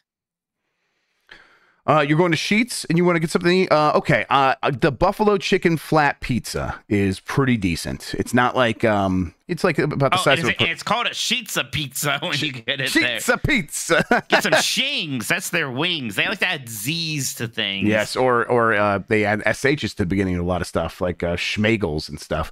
Um, yeah, get that, get that. That's pretty good. Or two plain hot dogs. He's like he's like getting the meatball sub there. The mac and cheese isn't bad either. Yeah, their their, their sub sandwiches are pretty good. The Italian sandwich is really good. Drew Bus says, "Gents, can you please uh, find out why Valve won't officially uh, release the Steam Deck in Australia for me? Been over two years now. Oh, that's weird. I didn't realize they weren't right. releasing the Steam Deck in Australia. Why not? It's got to be logistics. It's got to be logistics and tariffs. Um, I would assume or Oceania. Uh, yeah, I mean, listen, I bet it's very expensive to ship that stuff there. They're not going to manufacture it there. That probably takes a while to set up. Um, and then selling that stuff there, they probably would have to set it to a price where it would not make sense to a lot of people. And then if they made it made sense, they wouldn't make any money on it. Um, yeah, I'm sorry, that sucks. Australia deserves better. You heard it from Jeff. Uh, Soulscream says, "Is the Xbox puck dead?" Yes. Uh, well, it's on hold at the very least. They said this. They've confirmed this publicly, I believe. Yeah. Uh, Jordan Ando says, "Why have people only just realized that Xbox had this messaging for years and actions pushing the same direction? Were people just ignoring the messaging before? It has been consistent, in my opinion." So I know Phil said similar things to you before, Jeff, and other people look, this is definitely the most high profile stage that they have delivered this message. And it's been more concrete uh, than it ever has before, right? Yeah. Yes. Uh, this is um, a big, bold step in, the same direction. You're right, Jordan. Uh, that that this is the kind of very similar to what they've said before, and this is just the biggest step in that direction. But um, it, it also is hard for people to hear that because because yeah, you they they say that stuff, but when they go to the store, it's an Xbox, and these games are exclusive to Xbox, and they keep talking about all the great games that are coming to Xbox, and it's like the reality on the ground for many people, even while he was saying all that stuff, is business as usual. So I think people assumed, well, it is this way, and it will continue to be that way, and this is the console gaming uh, landscape that we've lived in for our entire lives where it's like these companies do things this way they do it one way so now that microsoft has sort of like been talking about they are looking at those 3 billion gamers instead of just the you know the 25 million that they have on Xbox. Um, it's like, yeah, that's a nice thing to say. What does that really look like? Well, now we're starting to see a little glimpses of what that looks like. random thought before we uh, leave here for now. Uh, you know, we're we're we were belly aching about Rare Replay and how that should come to Switch. Somebody pointed out on Twitter, I forget who. So much of Rare Replay is just like Xbox backwards compatibility stuff with 360. So That's I a guess good that point. does That's a make good it point. kind of impossible. Yeah, we So, weren't really thinking about that, were we? Switch, huh? Yeah, I guess No. so. I mean, yeah, because you can't really do like a diet version of that that just has all the uh, Yeah, NES. give- and- just yeah, just give me all the yeah NES, Commodore 64, and N64 games. Uh, that's fine Yeah. with me. But they're probably not going to do that. Probably not going to do that. Put put some of those onto uh, NSO then. Yeah, yeah, just do that. One more from Alice Lee. Maybe I'm out of touch, but I don't see why Xbox needs so many first party exclusives when they have Game Pass, which is enough value on its own. I mean, I, I agree, Alice. And then you look at the numbers, and uh, Game Pass just it's doing fine, but it's not really growing like it should, and it's probably hit a wall. And again, it you know we're just the way things are. It's not it's not good enough that hey, we used to not have a Game Pass, and now we have Game Pass, and whatever revenue that is, it's great. No, there's got to be growth. If it's not coming from Game Pass, then the growth's going to have to come from somewhere else. Yeah. Uh, thanks for the super chat, Alice. I uh, Thank you, Mike's Alice. Mike's right, uh, and it is the kind of thing where we, we talked about this last week when we were like leading into this and we knew this was coming. Um, that the the the Game Pass is um attractive and it's the best deal in gaming. That's the kind of thing people have been saying for a very long time. And I think we're at a point where people are like, well, I got PlayStation Plus, and this is pretty good too. I don't need Game Pass. Sure, it's got some Xbox exclusives, but I'm fine missing out on most of those. If those exclusives were significantly better, coming out more frequently, impossible to ignore, that is the kind of thing where it's like now it's a different differentiating factor again. Um, that's tough to pull off though, and I think Microsoft recognizes that. That's what the all these moves are about. But they, uh, it's going to get an Xbox because of Game Pass. And if Game Pass is like, oh, we just got a bunch of great third party games in here and all that stuff, it's probably not enough when PlayStation Plus is in a lot of ways just as good. Jordan Andel uh, has one just now said, so effectively, people are just scared of change until it happens. Like people hated day one games to PC at first. Now they want everyone to do it. Um, Yeah. yeah, yeah, yeah. Yeah, people Yeah, people are scared. Of, yeah, pe- humans are frightened of change. It's uh, we we want the world to work the way we expect it to work. Nothing makes a person happier than when they go into a situation and everything is as they expected it to be. Like if you go into something and people ask you to like, hey, you do this thing at work? And if the thing is something that you know how to do, it like releases a huge amount of dopamine. People love it. And if it's something you don't recognize, it is very scary. It sets off fight or flight. Um, and I think that's what we're seeing is a lot of fight or flight. I mean, we literally saw people fighting and we saw people flying away from Xbox. So, uh, yeah, that's what we have to deal with when, when these kinds of changes happen. All right, let's uh let's end this segment now. If you uh, guys want to send in more super chats, we'll, we'll uh, yeah we will read them before the end of the show.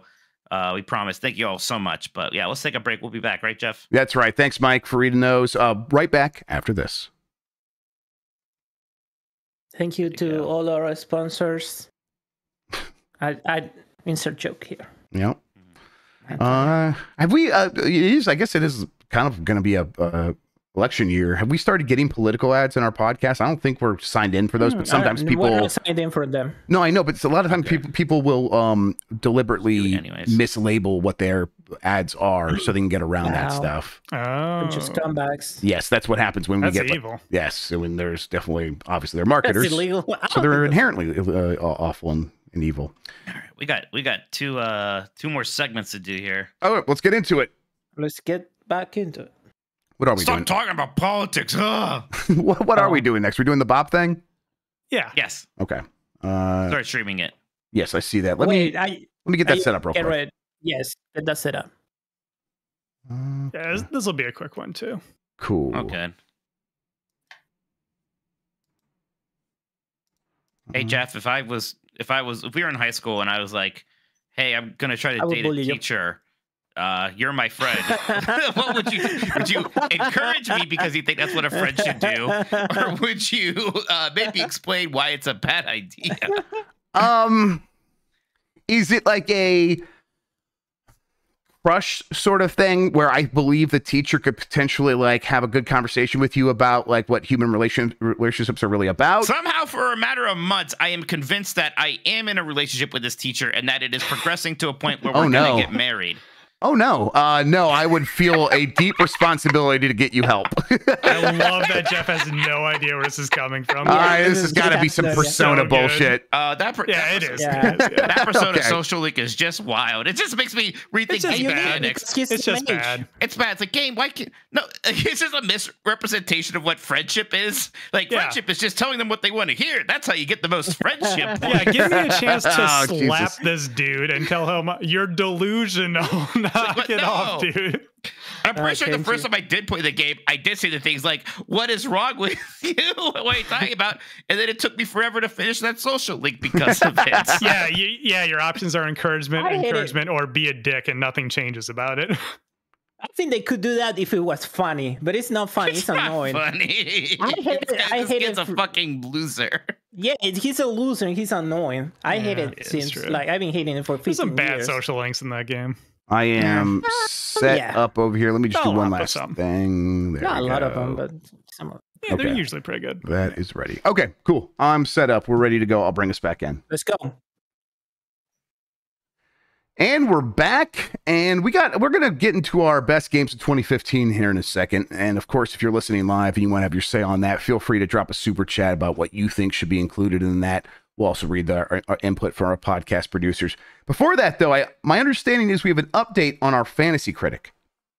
That is right, Jeff. So uh, we haven't done one of these a little bit, so people may not remember if you're a little newer to the channel. But what we have going on here is that every year we run a fantasy critic league for our patrons, and most of that is headed up by Benji Bop. So you know, big shouts to him for all that. Uh, if you're unfamiliar with what it is, it's basically like fantasy football or other fantasy sports where you like create a team that you think will do well throughout the year, and you want to beat everyone else with your team. So here, what the goal is is to have the best scoring games, uh, review scores of the year. And so here we have a little update uh, since we have done our draft, our initial drafts, and a few major releases have come out. So uh, Bob put together a little uh, summary of the first month and a month ish of the play here. So uh, going into it right away, uh, Jeff, can I uh, borrow your unique skill for a second here with the video that we have lined up? Uh, yeah, what do you need? Uh, just uh, talk about this a little bit, you know? Sure, absolutely. Let me take a, a look here. Okay, yeah. So Beef Spackle off to an early lead. Barf spackle. Barf Spackle uh, is off to an early. I, actually, it's very hard for me to read these names because it's pretty tiny on my screen. Uh, but Blackheart Vinyl makes a big leap ahead, and then the whole pack catches up. Everyone is moving ahead as Like a Dragon, Infinite Wealth comes out. Who's going to get that advantage? Adam asleep. B- Uh, B- B- Beltred. Yeah, Beltred. Beltred. In way, good rest. Pika Blue. And then Nick out, Turbo goes Turbo! way out ahead with Granblue Fantasy. Uh, and then Persona 3 Reload helps Teshi 1999 catch up. And then that leaves Adam asleep, Beltrad, I'm way good, re- reset, a Pika Blue, uh, Yellow Beard, uh, all tied with, with 20 points. Then Adam asleep catches up with Helldivers 2, Oh, moving took out into the the lead. 32.8 That's a points. Great pick. That was a re- yes, that's a very good pick. Uh, all right, then Banishers comes out. And that moves Low Rule Legend way up into the leaders uh, uh, club. Mario versus Donkey Kong also out. That came out. That comes out like right now tonight. Right. Ultros is also in there, I believe, which Oh. I know is getting some praise. Uh, and so that means our leaders, as it stands right now, is Adam asleep at number one with 32.8 points, Nick Turbo at number two with 31.6 points, and Low Rule Legend in third place with Where are 24.6 names? points. Um, Well, we'll get to that in just a second. Oh, uh, no. thank, thank you both for uh, commentating over that. yep. Uh, so here we have some stats from Bob, just as a summary of what's happened so far. Notable releases of the period include Tekken 8, Like a Dragon Infinite Wealth, Persona 3 Reload, Helldivers 2, Banishers, Ghost of New Eden, Granblue Fantasy Relink, Go Mecha Ball, Ultros, Turnip Boy Robs a Bank, and Mario vs. Donkey Kong Remake. So if you had any of those games in your fantasy league, hey, you got some points on the board. and, and, the, and the- I think you said this, but the order you read that in is the order of the points that they scored. So, yes, top to bottom order of most points to I least. was- That's correct. Yeah, Mike? Look, at 82.8, it's a great score. How is Helldivers 2 only an 83 ish average right now? people have bad taste. So. That's a good score. That's a good score It's a overall. good- it's a the good ones score. that are the ones that are very high up here with Tekken 8 at 90, uh, Like a Dragon at 90 or 89.9 and Persona 3 at 89.2. Those are all incredible scores. Yes. And uh, important to note here, though, interesting here, Tekken is an even 90, which means that nobody got the bonus points that happen when you score above 90. So, wow, it's it's up. not eighty nine point nine. You have to score above. Okay, wow. no, yeah, not- but you have to you would have to be 91 or more. Interesting. They're Yeah, okay. or uh, yeah, I guess it would be it would kick in at 90.1. It 90.1, probably gives you, okay. like- yeah, it was probably start doubling any uh, remnants there. But yeah, so that means that the highest score that uh, someone could gain from one game right now is just the standard 20 points. Hey, Uh, pretty good production values on this. Oh yeah, oh yeah. Bob puts a lot of work into this. Good really job, Bob. appreciate here. So here I'm going to go down the line. And I'm just going to show each uh each league that we have in the greater uh, or what each conference in the league. However, the breakdown is there. It's it's like tennis Game Mess that I can't remember which is which. But uh in the Game Mess critiques league, we have uh Adam Asleep in first place, as you saw at the end of the leaderboard there overall. Last of the critique dogs, we have Nick Turbo in first place over there. Closest to the messy critic, we have Low Rule Legend leading the pack. Then Critical Jeopardy, we have Beltrad in first place. And Critique Bros, Teshi 1999 is taking the league. So uh, if you want to go see where you are, maybe a little more specifically, you can go check out the video version. And I have pulled up all the slides there. The uh, top 10 overall leaderboard is the thing that I want to talk about more so here, which uh, interestingly is a top 11 because of some ties right now. Uh, Epic Open World, Michael Riley, and B Coreless 9 are all tied for ninth place with 19.91 points. Then we have a four way tie for fifth place. Uh, maybe they just all have the same games there. Uh, Beltrad, Yellowbeard 335, Pika Blue, and I'm Way Gooderus all have 20.04 points. Then fourth place, we have Teshi with uh, the 22.9. Third place is Low Rule Legend with the 24.64. Big jump up there to Nick Turbo with his 31.61. And in first place, currently leading everybody out of the what we have at this point, like 80 players I or something like like 80 that. players, have. yeah. Uh, Adam Asleep is leading with 32.79 points. So very, very good stuff there. Uh, Mikey asked about where's our names. Well, here's the captain's leaderboard where AJ Minotti, Benji Bop, Jeffrey Grubb, Mike Minotti, and myself, Turbo Sean, all have zero points because none of us have had any games released Well, yet. shit. We we all picked games that'll be later in the year because uh, I, I think a lot of us like got stuff like Persona 3 and like a dragon sniped out of it. I think we Yes, picked- definitely. I wanted. I got Persona three in the Giant Bomb League. I was happy with that, but I wasn't able Yeah. to. Yeah. It Everyone took Final uh, Fantasy right away, and then it's like it was pretty hard, I, pretty I quickly. picked first in my league, so I picked Final Fantasy, and we'll get uh, you know reviews for that in a little bit here. But for now, none of us have any points on the board. What was your first draft pick in this league, Jeff? Mine was the 3D Mario game, so hopefully that comes out. Uh, yeah, I hope that comes. I'm, I'm looking at my list right now. Give me a second. I thought you replicated your giant bomb one a little bit like I did, Jeff. Where I thought you got like Mario No. and Metroid. Uh, something like no, that. my mine is actually much different now that I I thought so too. Yes. Um, I went because there was not much left when it got to me, and so I went with one that I'm like I, I'm pretty certain this is going to get around an 85 to maybe even a 90 because it's it is a particular kind of game. Microsoft Flight Simulator 2024. That's right. Yeah, that's right. So I'm like, yeah, that, that could that could They do well for me. They just added the Thopter from uh, Yes, from Dune. games. Yes, that's that, that's in It's the pretty good. Is that in I'm the so hyped for the movie. 2024? That's going to be the. I think that's the last game that has that. So 2024 is a whole new game. is. yeah. Well, uh, that is going to do it for the little quick update that we have here. And I would just like to say, everyone, uh, that if you are interested in this and everything that's going on, the league is currently full. But I talked to Bob about this. We're going to do something a little different this year. Uh, since some people just petered out to the point of not playing last year, inevitably that's going to happen again. Uh, we're not going to immediately kick people, but if we notice that people just, you know, aren't really doing anything at all, we are going to reach out to them and say, hey, do you do you still want your spot? Do you still want to play? And if some people are like, you know what, actually, I'm good. We might be able to get more players in here. So if you're already a patron, or you know this uh, this interests you, and you want we're interested in becoming a patron to join, keep an ear out. We'll keep you updated throughout the year. And if that does happen, hey, maybe you can come come play with us, come join in the league, and uh, have a little fun uh, predicting some scores here. Trying to see what's available in my league, my Oh, okay, conference. Yeah. Make some moves. hmm All right. Uh, anything else, Sean? Nope, that'll do it. All right. Awesome. Let's uh let's you know what the real quick break while I get set up for the next thing. We'll be right back after this. 2015. All right, that's this will just take a moment while I just get switched All right. over to the other scene. Uh, well, the other asset here. Let's see. There's that. Acid. Oh goodness. like oh acid. goodness.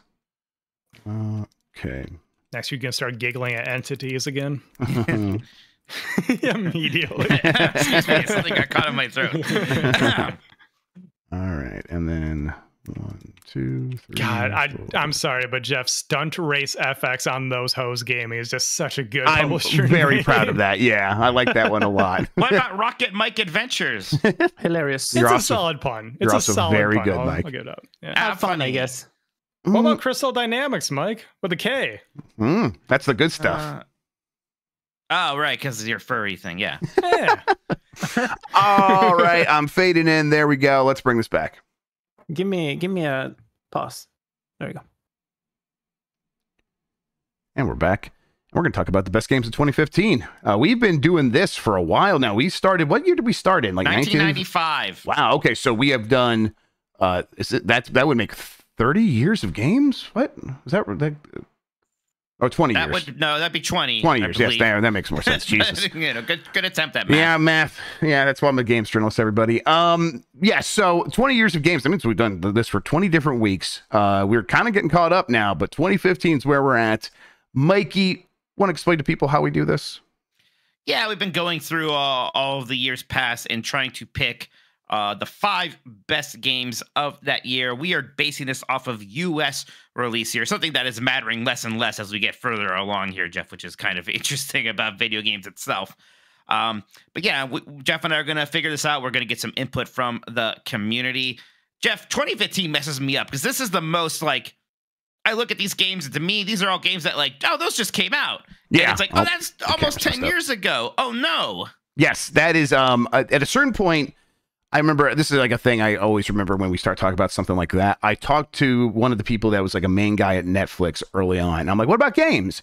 And he's like, "Once games are old, people stop caring about them, and no one wants to rent them anymore." And then like a few years later, Witcher Three came out, and I'm like, "That's done. That's over. People just will play Witcher Three forever. It seems like." And guess There's what? not really something hasn't come out where it's like, well, this is like some giant leap ahead of Witcher 3. We finally got other RPGs that matter, like Right. Baldur's Gate 3, but it's different than Witcher 3. We didn't just get a like that, but obviously with five years of uh, technology on its side. No. Right. And so yeah, the, there are a lot of games this year that are just like uh you they these could release today. And I I mean god, I mean the um PS4 generation started in 2013, right? Uh, So correct. Yes. so yeah, so yeah, we're like heavy into like just kind of what I do still consider modern day gen like current gen gaming because it's been a very continual thing in going into the PS5 and Xbox Series uh, X and S. Uh, all right, Mike. That said, a lot of really good games came out in 2015. Some very Yes. good games. Uh, where do you Yes. want to start? Well, you already said it. How about Witcher 3 The Wild Hunt? yeah, absolutely. That is a very big game, and I, I, I'm always really impressed when like a game in a series comes out and yeah, totally feels like an uh, excuse me entity on its own. Like Witcher One and 2's existence does it even really matter? Because here's Witcher Three. It's going to be a much bigger deal, and it is a ton of fun. It it kind of is like the successor to Skyrim in some ways of being this big open RPG. And it's different because you are playing as this bespoke character. It's a much more crafted world, but that's sort of the charm of it. It's just how well crafted it is. Every even like the smallest side quests have unique little storylines and dialogue options and all that good stuff. Um, yeah, you, you kind of said it right. Like the, like Witcher Three, sort of is one of the games that changed how games age. Really, Yes, I think um, there were different games that were on that spectrum before that. I mean, clearly Skyrim is something that gets released nonstop, but something is even more timeless in terms of design and look and feel with The Witcher 3 than even Skyrim. So, yeah.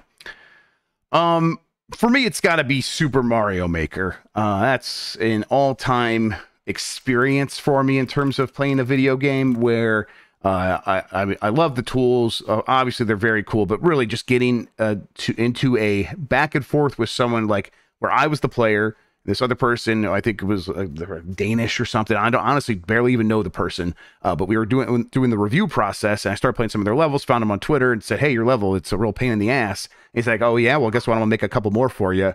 And we just kept going back and forth, and it was such a, a, a cool and unique thing, and the game is so good at enabling that. Like at the same time, I like remember like you know Dan making levels for Patrick Klepek and how amazing that was to watch, and then you know watching the Giant Bomb guys make levels with the community and having so much fun with that.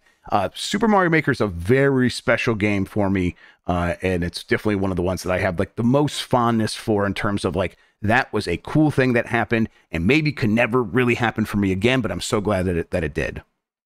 I never really quite liked Mario Maker as much as you did, Jeff, but I definitely sure. like it. I definitely really appreciate it. It is, yeah, it's it's it's a ton of fun. It's really neat. Undertale actually came out this year, Jeff. Yeah, Undertale's a good game. I like Undertale a lot. I, I feel like it's a game some people are almost sort of sick of hearing about, but it really is super impressive as not just one man, but largely a, a kind of a one man show. Definitely one person's vision here being sort of subvertive of what an RPG means and having that earthbound influence for sure, but doing something really different with the combat, where the combat is kind of like just the dodging bullets part of a shmup. And then there's all these different twists on that. One of the all time great soundtracks. Uh, it's the little morality system is fun. Something about Undertale that is really unforgettable. The, the the Sans boss fight is one of my favorite boss fights in any video game ever. You have Megalovania, playing during that. Undertale really is pretty incredible. Yeah, I I, uh, I enjoyed Undertale. I played it, beat it. Um, I did not um get into the like oh the pacifist runs and uh what and like when I was playing the story and kind of like uh, getting into with the characters and understanding the metaphors of like, yeah, I, I, get it. This character's like obsessed in a weird way that is like, oh, clearly that's not how you're supposed to be. And uh, I'm just not someone who really needed those lessons. So it like it was like, yeah, of course, this is this is right. Like this person having these, this hard time, um, uh, uh, uh, uh, you know, handling their fandom in a way that is responsible. Like, yeah, don't be that way. Um, it was like, okay, yeah, I, I was not blown away the way some people were, but I appreciate everything that is there. It is a fun game. It's a cool game with cool characters, and the soundtrack is just an all-time great soundtrack. Yeah, absolutely. Uh, Rocket League, um, one of the oh, best uh, sort of arcade sports games ever made. It is, um, I think it's genre defining in terms of multiplayer online sports games. Uh, and it's the kind of thing that anyone can pick up and immediately understand what they need to do to be to participate in the fun. And they will begin having that fun immediately. And at the same time, it has enough enough depth to support the the incredible esports uh, scene that it does have uh, one that is not like necessarily um, oh this developer keeps it going because it's part of their marketing campaign. It's like no there are people who are just desperately love this and it's a grassroots effort and rocket league deserves it on uh, deserves that stuff onto itself because it's earned that and it's just that good. Uh, it's the kind of game that hey if someone said hey you want to go play, play rocket league right now? I would jump in immediately. I would love to play some rocket league at any moment throughout my life. And you know it's there's kids coming into Rocket League every day still, and they just like that becomes their game. Yeah, man, nine years Rocket League has been going. That's impressive. Yes, it's and it's just sort of maintained that strong uh, support throughout that entire time. Ori and the Blind Forest. Uh, Jeff, you know that I absolutely love these yes. Ori games. Uh, you know, I know that the sequel is in a lot of ways kind of the bigger, better one here that there is still a ton about the first Ori that is incredible. Uh, some really amazing story beats. The game is still just absolutely gorgeous. It's as good as a 2D game ever looked. Another fantastic soundtrack. I love those sort of epic sequence, like escape moments. Uh, those are a ton of fun for me. Uh, yeah, gosh, I love Ori. Just just seeing like these pictures in this Wikipedia makes me happy.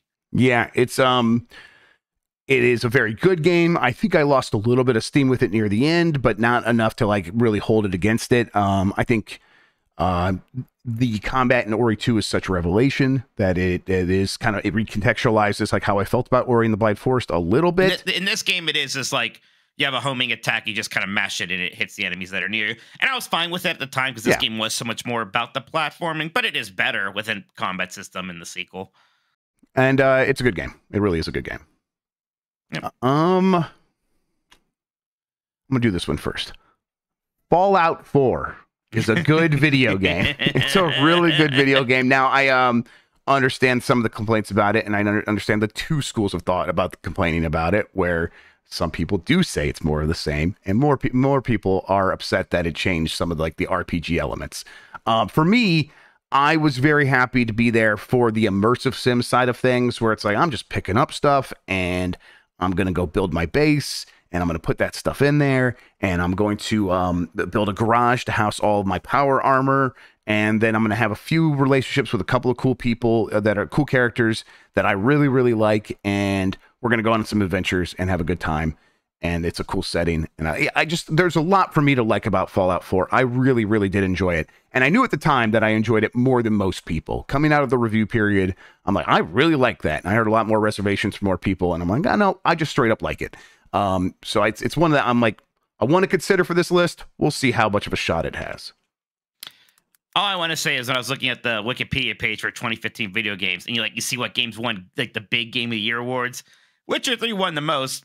Somehow Fallout 4 won the second most. And Momentum, I right? insane. Looking at these games that we've been It's talking it's about, a really good year. Yes. it's Uh, a very good year. yeah. There's a it's fine. yeah. God, there are a couple that are like obviously considered more highly than Fallout 4 at this point, and some that I think should have been at the time for sure. like Bloodborne. Like Bloodborne. Yes, that's definitely the one I was thinking of. Bloodborne came out in 2015. Uh, man, that game's almost 10 years old. That's pretty nuts to me. Yeah. Uh, like, Like- aside from the game being like stuck at 30 FPS, that's basically just how good games look in a lot of ways.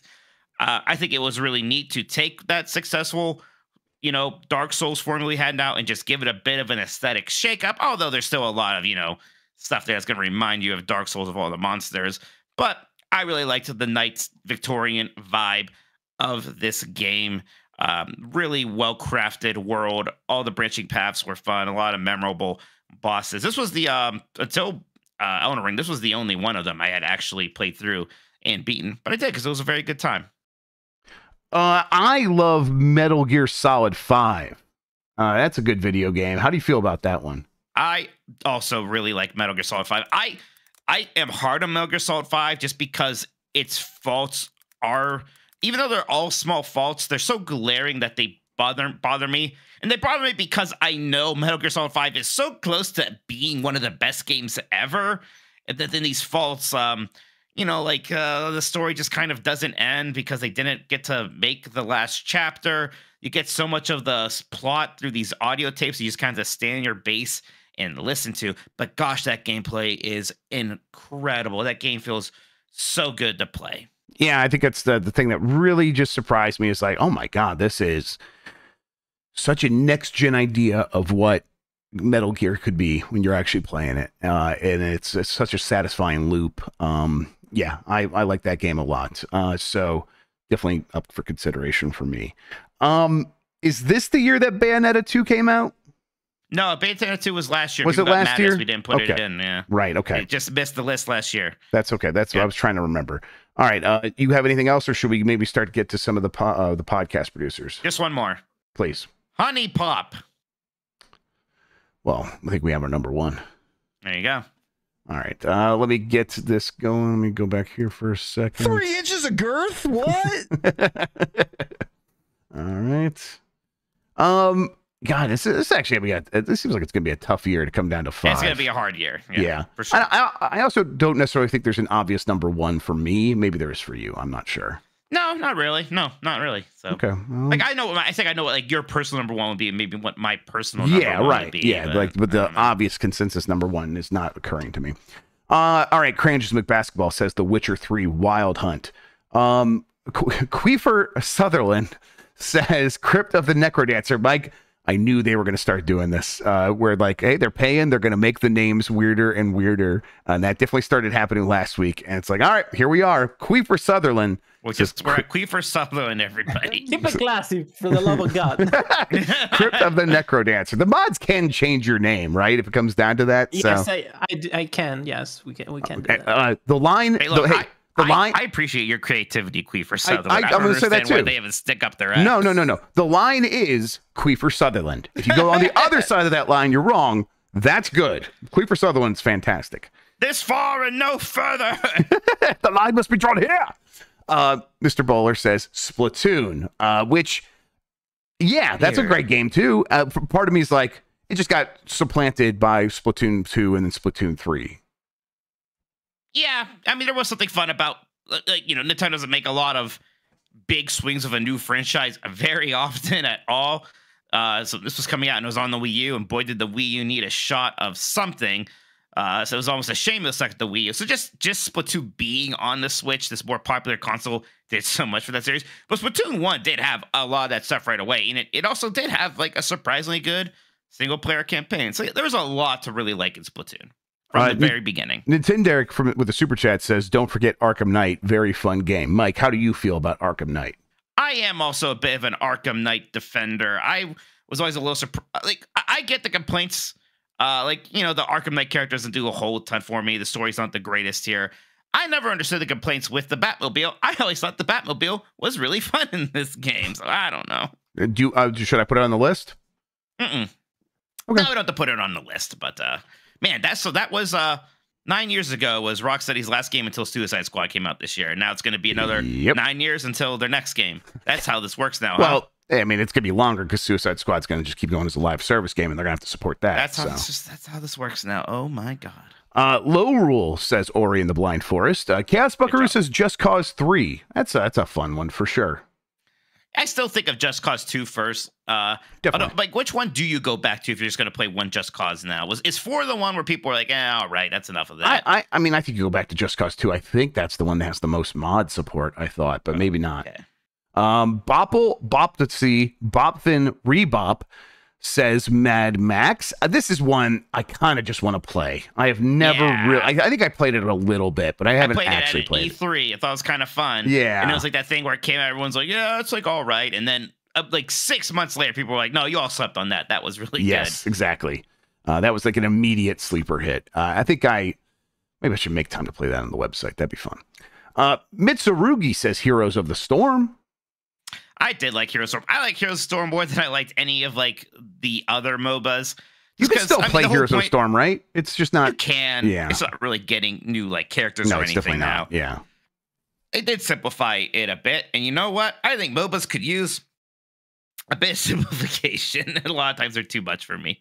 All right. Um, Nick Turbo says Until Dawn. Uh, I'm going to play this when it comes to uh, PS5 and PC later this year. I've never played. I it. will maybe watch you play it. How about that? Well, there's it's got that like it's got the like online like it, we, we can like vote on stuff mode. We could just all play it together. no, fuck democracy. No, it's just like go what with what your. the fuck did you just What say, did Uh, Hang- oh, hang I on, did Jeff. the spread Yeah. democracy. And unless that's something that they added that I don't know about, that's uh that's not actually a thing. Uh, it, it's uh, I think it's something they've had in their recent games, so maybe I'm just assuming that they'll put it into this. Okay, yeah, because the this being on original game. the original release did not have that. But Okay, that's that's more funny because then we can just be in a Discord call with you and just yell at you and tell you. Right, that yeah. exactly that works as well. Okay, well we'll see.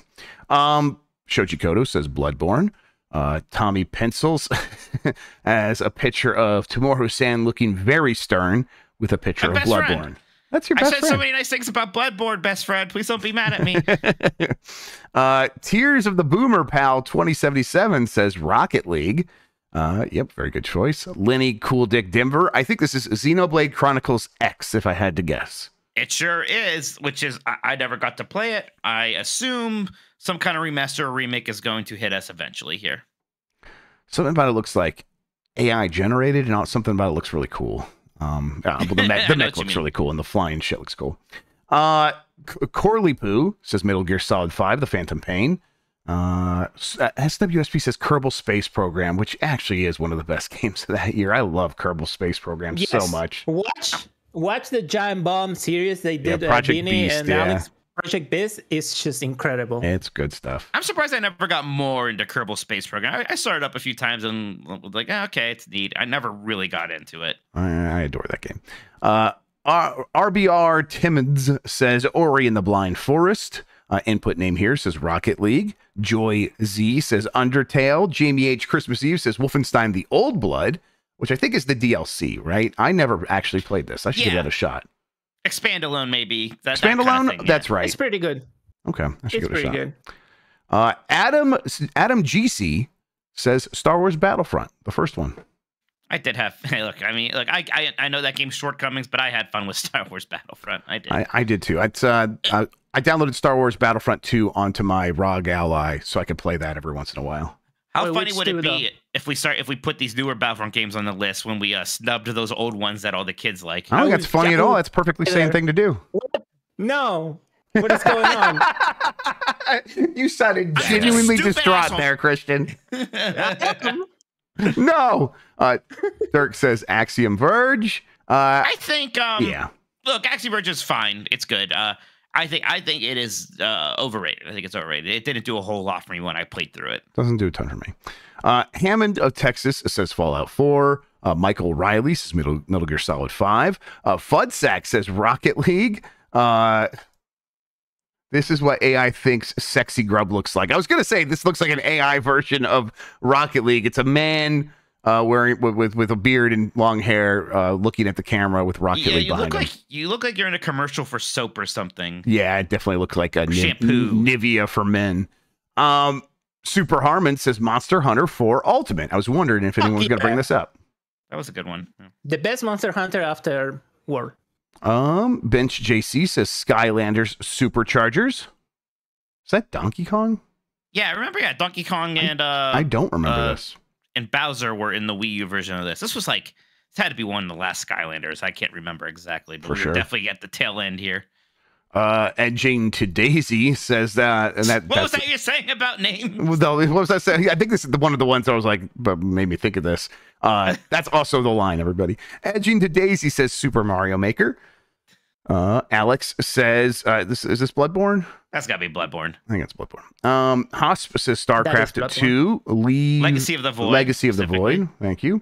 Uh, Korea Freak Eden says OlliOlli 2. Welcome to Olliwood. I um can't get into the OlliOlli games. I don't know what it is. Oh, that breaks my heart. I That I, is. I have like no ill will towards them, and I'm glad other people like them. Uh, but I tried for like about two and a half hours to dig OlliOlli World when it came out, and I was just like, hmm, this doesn't feel right to me, and then I had to give up. oh, Uh, 2x Champ Beef Hammer says, why? Uh, I'm gonna read the fucking thing on the screen. Uh, Undertale. there are some good lines from Undertale. Yeah, Despite definitely. everything, Jeff, it's still you. Uh, Doomidal Crossing says, life is strange. Uh, you, you ever played any of the Life is Strange games? No, I guess I, I, maybe I'm assuming wrong, but these are very much like those Telltale kind of games. This is not my thing. Right. I mean, um, it's it's they- more than that, They but are it, a little. Sorry, they are a little bit more like involved, like gameplay wise. You you do more. It's more interesting. It's just I'm the sure, but- games. I, I Look, think if I I- would. I think you would like Life is Strange more than I would ever recommend you play a Telltale game. But uh, I'm. It's also not my thing. So what am I I, saying? but I, I'm sure I wouldn't hate it. It's not high on my priority list of games I haven't played that I want to get to. Always be clothing slash corgi says Metal Gear Solid Five, The Phantom Pain. Uh, Uh, there's the famous once you recognize, uh, yeah, the, the, the ashamed of your words and deeds tweet from. Yeah. Uh-huh. Yes, that's that's good stuff. Uh Sledge Reinhold says Soma. Um I I think I played a little bit of Soma. Is that the scary robot one? I can't remember. Yes, it is. It rules. Pretty good. I know people It's love that from game. the yeah. It's from the the amnesia people. Uh Dr. Ryan uh does Super Mario Maker. Uh this is a really good stream. Uh I was Yeah. there when they like from put- Giant Bomb. yeah, put the, yeah, the giant bomb stream where they did the police state out of coins. And I think about that all the time. Police state's just a very funny thing to say. Um Octo says Downwell. Man, that's a good game. Yes. Downwell's a very good game. Is that? I think that's on Steam, right, as well as mobile. Um, Downwell's like a a, sh- a downward shooter where it's like you're always just shooting down, and they like that can like propel your character up, but you're also Oh. supposed to like go down the well and see how far you can get. It's a good game. Uh, Matt Rare Monkey says Yakuza Five. I never, I never played it. Sorry. Uh, Isaac Clark says Tembo the Badass Elephant. It's just so weird to me that the Pokemon people made a game with a swear in the title. Yep. Uh, Warden Cliff says Box Boy. I like Tembo and Box Boy are bo- both ones I hear people bring up all the time. I've never played either one. Is, is there such a thing as a game's aesthetics being too minimalistic? Not for Bo- me, but Box apparently for you. Box Maybe. Boy is a grub game. It's 100% It is. Yeah, I guess point. not for It's grub. 1 million percent grub I'm game. like, look, right, I'll- I need a little bit something than dots on a box. I will. Like, uh, I'll give it a shot. That sounds like fun. Uh, Screaming Madden says Madden 16. Uh, No, but, no, no. but, He but, says- but in front of uh, God, what is this? Uh, Contradictions. contradictions. calling- Thank you. Yes. there. Another another legendary giant bomb uh, let's play feature Yes. video. Yes, Why are we right. talking about this giant bomb stuff from before I I, was on it? Who cares? it's, it's pretty good. You should check it out. Uh, Eamon Goldie. Uh, okay, it's- it's NBA NBA 2K16 with uh, the Ghost game written on top of it. Uh, now I'm just confused, so I'm just gonna I'm also confused. yeah, it's NBA. Um, Teriyaki Blues, Dying Light, the first one. I actually did was hoping someone would bring this up. That's a really good game. I like it much more than I like Dying Light 2. Um, it uh, a big part of it is that like nighttime is like actually night. It's like actually dark out. Um, and I don't know, it just was very scary and also had great parkour stuff at the same time. Uh, JD Camp, uh, is this That's Metal Gear. Oh, that's Metal Gear. That's oh, that's right. I just saw the anime character and it threw me off. Um, and then Slane says Witcher Three. Willow Davis says Amiibo Festival. Amiibo Festival with the smallest picture of the Amiibo Festival icon I've ever seen. Uh, Laser Wolf says Witcher Three. Uh, T- Tekken Wolf Five says Bloodborne. Uh, Mike, Mike Mike is is wrong wrong about, about Bloodborne. Bloodborne. Wait, Look, I was one to defend it. I, I am generally sometimes kind of hard-ish on Bloodborne, but I if there's You if like there's an opinion, I would think I'm wrong about it. Probably is that one. Clink says Mini Metro. Man, that came out in 2015, nine years ago, huh? Mini Metro's pretty good. Uh, Villain Max says Metal Gear Solid 5. Cox Taverse says The Talos Principle. Uh, Zubmer says Fallout 4 is RPG Game of the Year. Uh, DMC Depressed Me Crying says Splatoon. Adam Asleep says, uh, what is this? Oh, Yeah, what is this? Let's see. I'm trying. Oh, this oh, is is this Wario and Luigi Dream Team? yeah, is this Dream Team? This is Dream Team. That was the one that lost me. It was like every screen there was a new, to, like very long tutorial. and it's a about what you shame were because it's like a it's like a good game with a lot of good stuff in it, but those tutorials are a lot. Yes, great concept, and like there's a lot of great execution. It is just so many tutorials and text That boxes. would be Paper Jam. oh, this, This is is Paper, Paper Jam, Jam. but there's okay, a giant Luigi. I assumed he was dreaming. The Jesus. game is Paper Jam. They might have picked the wrong GIF. Okay, well, who knows? They they, they maybe made too many of those real quickly. By the way, also. yeah, God, that's right. I don't remember this segment from, and I played Dream Team and not Paper Jam, so maybe this is Paper Jam. I don't know. Uh, Wong Gifts says Trails of Cold Steel. I'm like, is this the I one of always the ones you wanted to play these um because I like Trails in the Sky, but I like that series went 3D with this one, so it's like you go you go from kind of these nice pixel graphics to sort of ugly, cheap 3D graphics, and it just doesn't look nearly as interesting to me. T Money OG says Ori and the Blind Forest. Big Tony says Xenoblade Chronicles X. Uh, like a dig, like a Dylan. Infinite Wealth says Rainbow Six Siege. Oh gosh, Siege. This was the game that was bad and my then God. became a hit. Okay, well, yes, and it's, it's Huh? very good. I like Siege a ton. I I don't know if it's bad. always You know, it's it was never. It was just slight. I think it was uh, out of the gate. It was just slight, and people weren't quite sure if they were going to be into Yeah, it or it's not. slim. Yeah. Yeah. it was slim. Uh, yes. Uh, Vision forty nine says Bloodborne.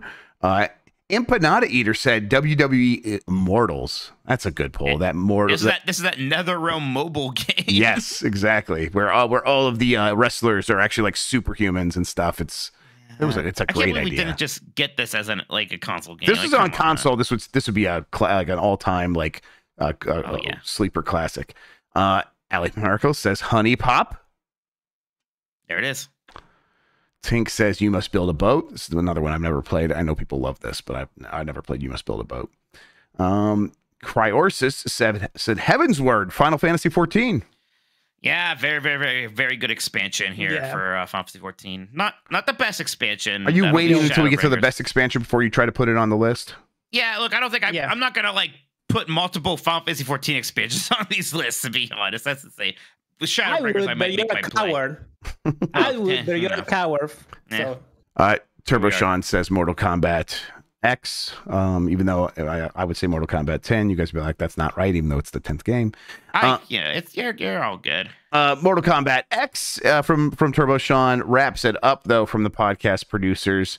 Uh, all right, so let's get back over Mortal to. Kombat X is uh very good. Uh, I like it. I just um, I when I, when I was playing through those, and I think I think X's story. I might be complaining them now. I think I was okay, but none of them are as X good is as the one one. that's like I, like it because it's like, hey, we're gonna do Mortal Kombat 4's story again, but this time Johnny Cage's daughter is here. Right. I was yes. like, okay. I and I, I I, like did it. actually like a lot of that stuff. Um, but yeah, I they- think most people think it's the best playing of those. I remember the complaint was that the graphics were real kind of dark, as was the style at the time.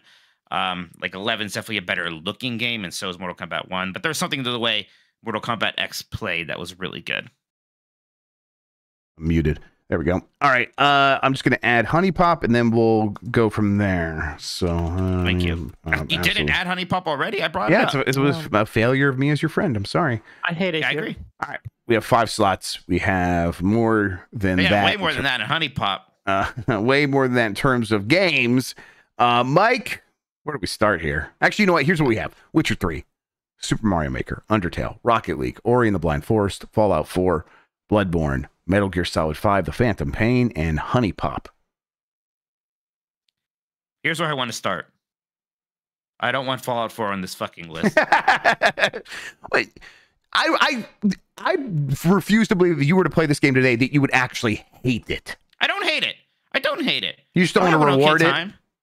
It's a, yeah, I don't want to reward it for kind of making the series worse. Yeah, um, no, I get it. Like it's still a fun game.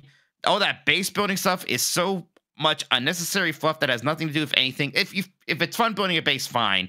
Can't believe they just brought it back in Starfield, and it is somehow still just disconnected from like every other system in the game. It's like kind of worse in Starfield. Yeah, It's even worse than Starfield. It's maddening. Um, yeah, like look, like so much of the fun of Fallout for me is sort of that RPG stuff. Like, oh, like you know, I'm going to talk to this person, and because I have this trait, this conversation is going to happen.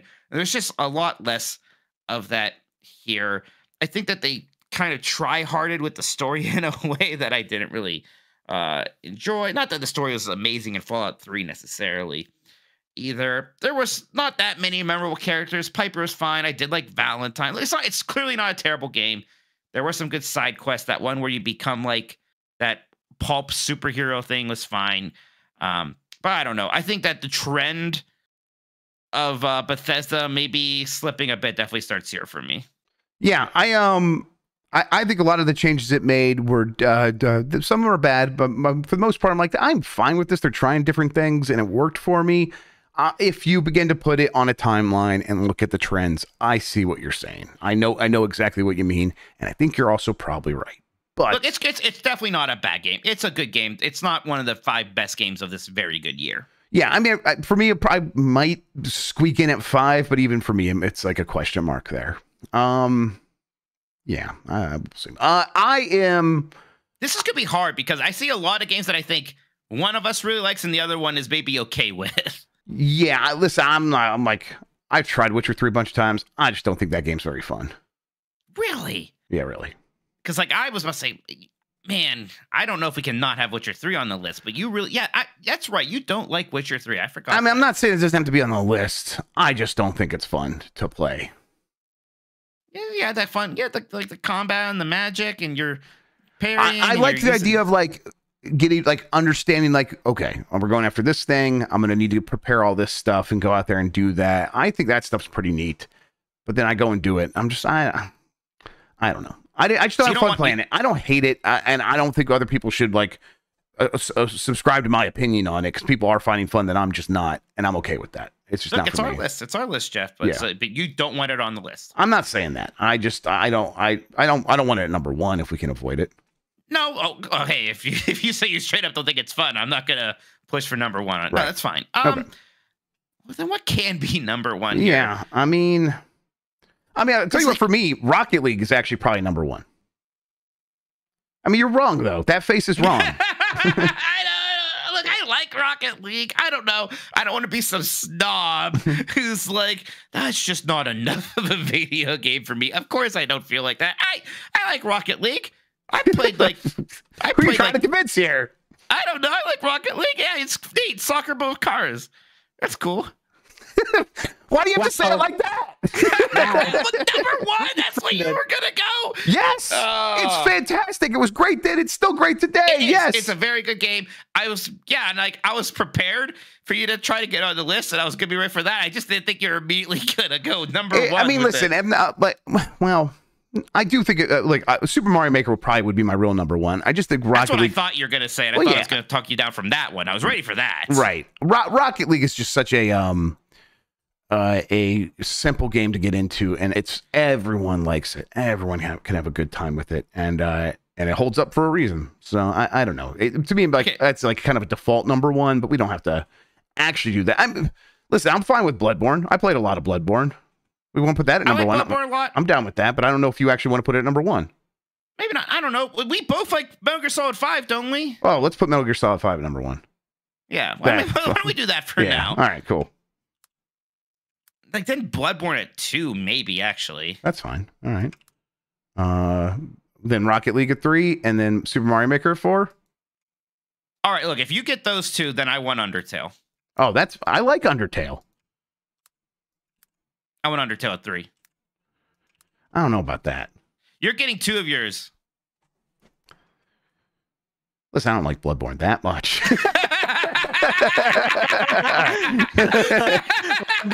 Nobody tell that to Tam. How about we move Nobody Bloodborne down and move everything else up, and now then I'll move Undertale to three. Wait, so let me see what you want to do. Do what you want to do. Uh, Listen, I don't know if I want to do this. I was being pretty uh, hasty there. Um, I just love how quickly you threw a Bloodborne onto the train tracks for that. Come on. Uh, there we go.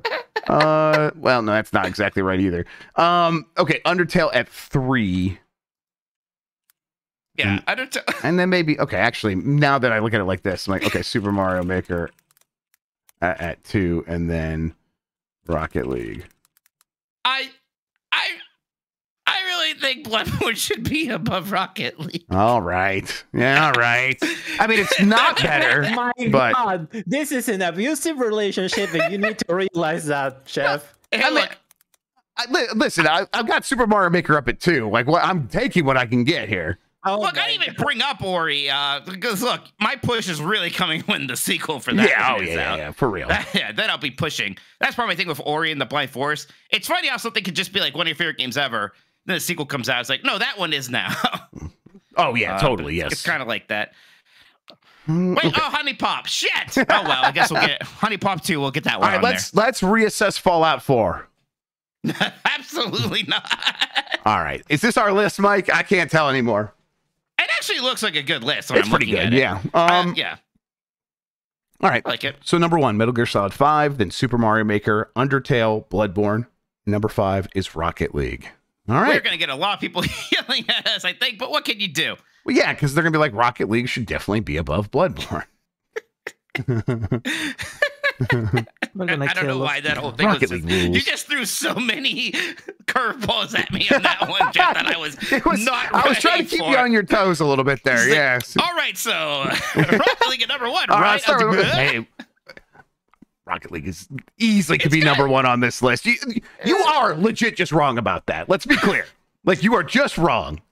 I don't know. Can I, I do can't- know. I, I can't run a poll anymore. Someone run a poll. Is should is Rocket League number one? Well, wanna okay, you don't have to say it like that. Like, is Rocket League the best game of 2015? Everybody. oh, okay. Why, uh, why can't you guys run polls anymore? Let's see. I don't know. I never was able to run polls. I can. I don't know how it. this I can works. do it. I'll, I'll get. I don't know how do 'em? polls work on YouTube. I can do them on giantbomb.com, All right, but not here. Yeah, go do a poll in that chat. Yeah, I'll, yeah, we'll go over there. Uh, Jeff, do you want to? Do you want me to read these out for you? Or, Yeah, read, uh, read one more time for everybody. Best games of 2015. Number five, Rocket League. Number four, Bloodborne. Number three, Undertale. Number two, Super Mario Maker. And then number one, Metal Gear Solid 5, The Phantom Pain. Which again, a game size has like these these small glaring faults that really bother me, but overall, just a fantastic game. There you go. All right. Uh, one more quick break. We're going to get back. We're going to talk about what we've been playing and then get out of here, everybody. Thanks for sticking with us. Uh, break. You wanna do it in and out? Okay, that's oh, okay, that's an interesting way of putting it. Yeah, higher or I thought, I thought that was I thought that was good middle ground. Yeah, that's put- good. I'm, I'm okay with Yeah. that. No, no, I hate it.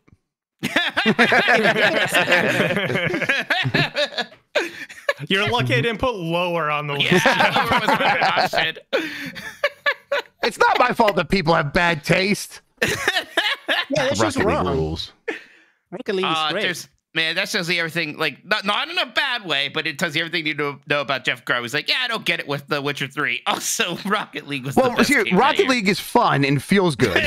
I get it exactly. Yeah. It's like, it's, yeah, I Like, get yeah, if, if Witcher 3 felt anywhere near as good to play as Rocket League does, then it. they would be fucking cooking. if it was a car RPG, If it's just Yeah, like Rocket, if, if Rocket moving the League thing around have that you move around was what, fun what to are, like. What are we doing fu- here, Jeff? What are you talking about? Uh, Rocket League is do mean? fun to play, and Witcher Yeah, 3 is not. did- but there's fucking in Witcher 3. oh, That's okay. true. People like Witcher 3. Yeah, but you can The like kind of put the cars on top of one another. Okay, listen, we don't need to know what special What do you, Nick does you don't do the time, right? with those hands? Hey, are- What do you- is do you a- have to do that with your hands? Sean, is, No. is, Mits, Mits, is uh, Miss Mitsuru Yes, from Persona Three Yeah. yes. and Yennefer from Witcher Three? Is that the same character? Um, I mean, Yeah. Yennefer sucks though, so Yeah, she's kinda- Yeah, Mitsuru kind of sucks also. in a way that I like. In a way that I like, but she kind of Mm. sucks. We're What do you getting words after mean? this Well, podcast. hmm, Hmm. I don't know. All right, let's get on with this Let's podcast. just get this. This just end this. And we're back. Uh, let's talk about what, what we've been playing. Uh, Mike, I've been spending some time with Balatro, uh, uh, mostly with the demo version. I can't. I actually don't. I should check the embargo, but I played so much of the uh, demo version. That's what I'm speaking about here. Um, again, rules. It's a lot of fun. Uh, it's got a lot of cool ideas. This is the poker deck building game that we've been talking about over on Giant Bomb. I think I might have talked a little bit about it on um, one of these shows. Uh, it continues to be really fantastic. It's the kind of game that will swallow up my life. So I am like, yeah, I need to just put that aside until I have a little bit more time or get through some of these bigger games. Um, other than that, uh, it's been it continues to be like a dragon, infinite wealth, and then uh, some review games. Um, but like a dragon, Rocket League. Here's the poll: Is it fine as is on the list, or does should it be higher? Uh, fine as is one with 65% higher with only 34%. Sorry, Jeff. They're wrong. Hey, I I like that card game also. I got to play it. I enjoy it. I want to play more of it. It's uh I I also like poker a good deal. So Yes. doing a roguelike poker game, that's a fantastic idea. Yeah, I mean, I, I there's a history of like poker uh, getting video gamified in a bunch of different ways. Uh, ways, uh, Poker Smash was like an early Xbox Live Arcade game that I really liked. It was like a act like an active puzzle game, and that one was really really good. And I think I think it's still backward compatible on Xbox. I think you could still play it. Um, and it's like, oh yeah, we haven't had one of those in a long time. So someone kind of bringing this along and actually being really well designed, really well thought out. I really, really enjoy it. Um, but then, yeah, like a dragon, I keep, I'm keeping my, my momentum going with that. I'm getting out of this recent uh, Kiryu in Japan chapter, which has a lot of like what I can tell is nostalgia for people who've been longtime fans of the series, and that it like feels like a proper sort of passing of the torch uh, is what a lot of people are explaining to me. And i can tell like just by playing it's like yeah that seems like there's a lot of stuff where it's like remember this remember this remember this. Here's this little thing like tied up in a nice neat bow that is probably very emotional for people who experienced this originally. And for even for me i'm like this is really well done. So just uh, overall continues to be a really really great game. They had compared it to like um, that Shadow Moses chapter of Metal Gear Solid 4, and I immediately understood what he meant with that. yeah um, how about you mike what do you what have you been playing real quick, you know what 2015 game we didn't mention at all? It's a little messed up to me because that was a good game. It Hmm. seems like everybody forgot about it. Is Shadow of, or Rise of the Tomb Raider? Excuse me, Rise of the Tomb Oh, Raider. that's yeah, that's the Tomb Raider one that I, that I really like. best that of was, that trilogy. Yeah, it's the best of that trilogy. And it's the, probably the best Tomb Raider game. it's all snowy, and I like the Yeah. the tombs were fantastic. So just a shout out to Rise of the Tomb Raider. Yes, definitely. Agreed. it. Yeah, we should we should have at I, least I mentioned would have put it above Rocket League, but I don't think Jeff would have gone for it. Well, fuck no, that's insane. um, Um, yeah. Yeah. Uh. So I have. I have. I still play Tekken 8. I still try to play at least a little bit every day, just climbing the ladder there. And you know, like I am climbing still, which is fun. That's it's Like, great. it's yeah, it's like slowish, and I don't play a ton every day, but like you know, like the the ranks are kind of color coded, and I'm in the orange area right now, trying to get to the red. If I got to the red, I think I'd feel pretty good about myself. I don't know much higher than that. I am ever going to get. But it is fun. Like I am at this point where this character I'm playing as Reina, I at any moment I know all these different moves I could do. And I'm also at this point now where I know a lot of the other characters well enough that I can do things like, okay, I know in this combo, I could maybe duck and do a low attack here, and that can be a launcher, and I can play off of that. So, you know, that's always everything with fighting games is it does reward you for the more you play and the more you pay attention, the further your expertise is. Even though if you just wanted to play Tekken 8 as this kind of I'm going to goof around by myself, play the story mode, play that arcade quest, just get all these characters' endings, that alone would be worth the price of admission. But I am glad that this latter experience is really good. My connections have generally been very good. So I am really enjoying playing Tekken like that. Are we officially in the era of fighting games work online well enough that it's a great way to play those games? We'll we'll find out.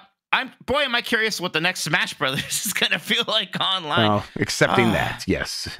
God, can I, can you imagine how happy I'd be if there was just like a don't don't please don't say anything, people. But like if there was a no like a no item, just one v one, like like ladder ranked mode in Smash Brothers. I know I sound like an idiot. Of course, There that's is, gonna Mike. happen. There is. An ultimate. Yeah, no, you know what I mean. But like, What? look No, in I don't. Well, but there's the, in the mode to play that is in Ultimate, but is it a ladder Or- mode? Yeah, not something something Yeah, a bit Smash something a bit more streamlined than For Glory or whatever it was called. That I don't know. I'm sorry, Mike. Uh, You're you not going to should be get that. begging for good netcode for that game for the next. That's what I mean more than anything. Yeah. Um. Yeah. Really like Tekken 8. Um. Otherwise, been playing Persona 3 still, and yeah, obviously, have been really, really enjoying that. I'm. Uh, I I got Fuuka, who's the character who I said uh, whose, whose voice upset me in the original Persona 3, and her voice acting is much better in this one. So I actually like this character now. So that's Oh, good. nice. Yeah, yeah. So that makes me. With hell diving. Helldivers 2 is so much fun, Jeff. I've had I had so much fun playing. I played it with you with the Giant Bomb people and then with my brothers. What an incredible game. Yep, it rules. I am. Uh, I probably will spend some time this weekend solo queuing in that just to see what that's like. I've heard good things, uh, so I'm looking forward Yeah. to. I'm I'm not going to use a mic unless I end up with like, in a one with one- uh, a friend, which my understanding is a likely possibility if other people are playing online that you're friends with. Uh, but otherwise, yeah, I'm just going to go in there and we'll try to stick together as best I Right. can and and emote and point at things and, and just mark them and then just contri- do do my best to contribute.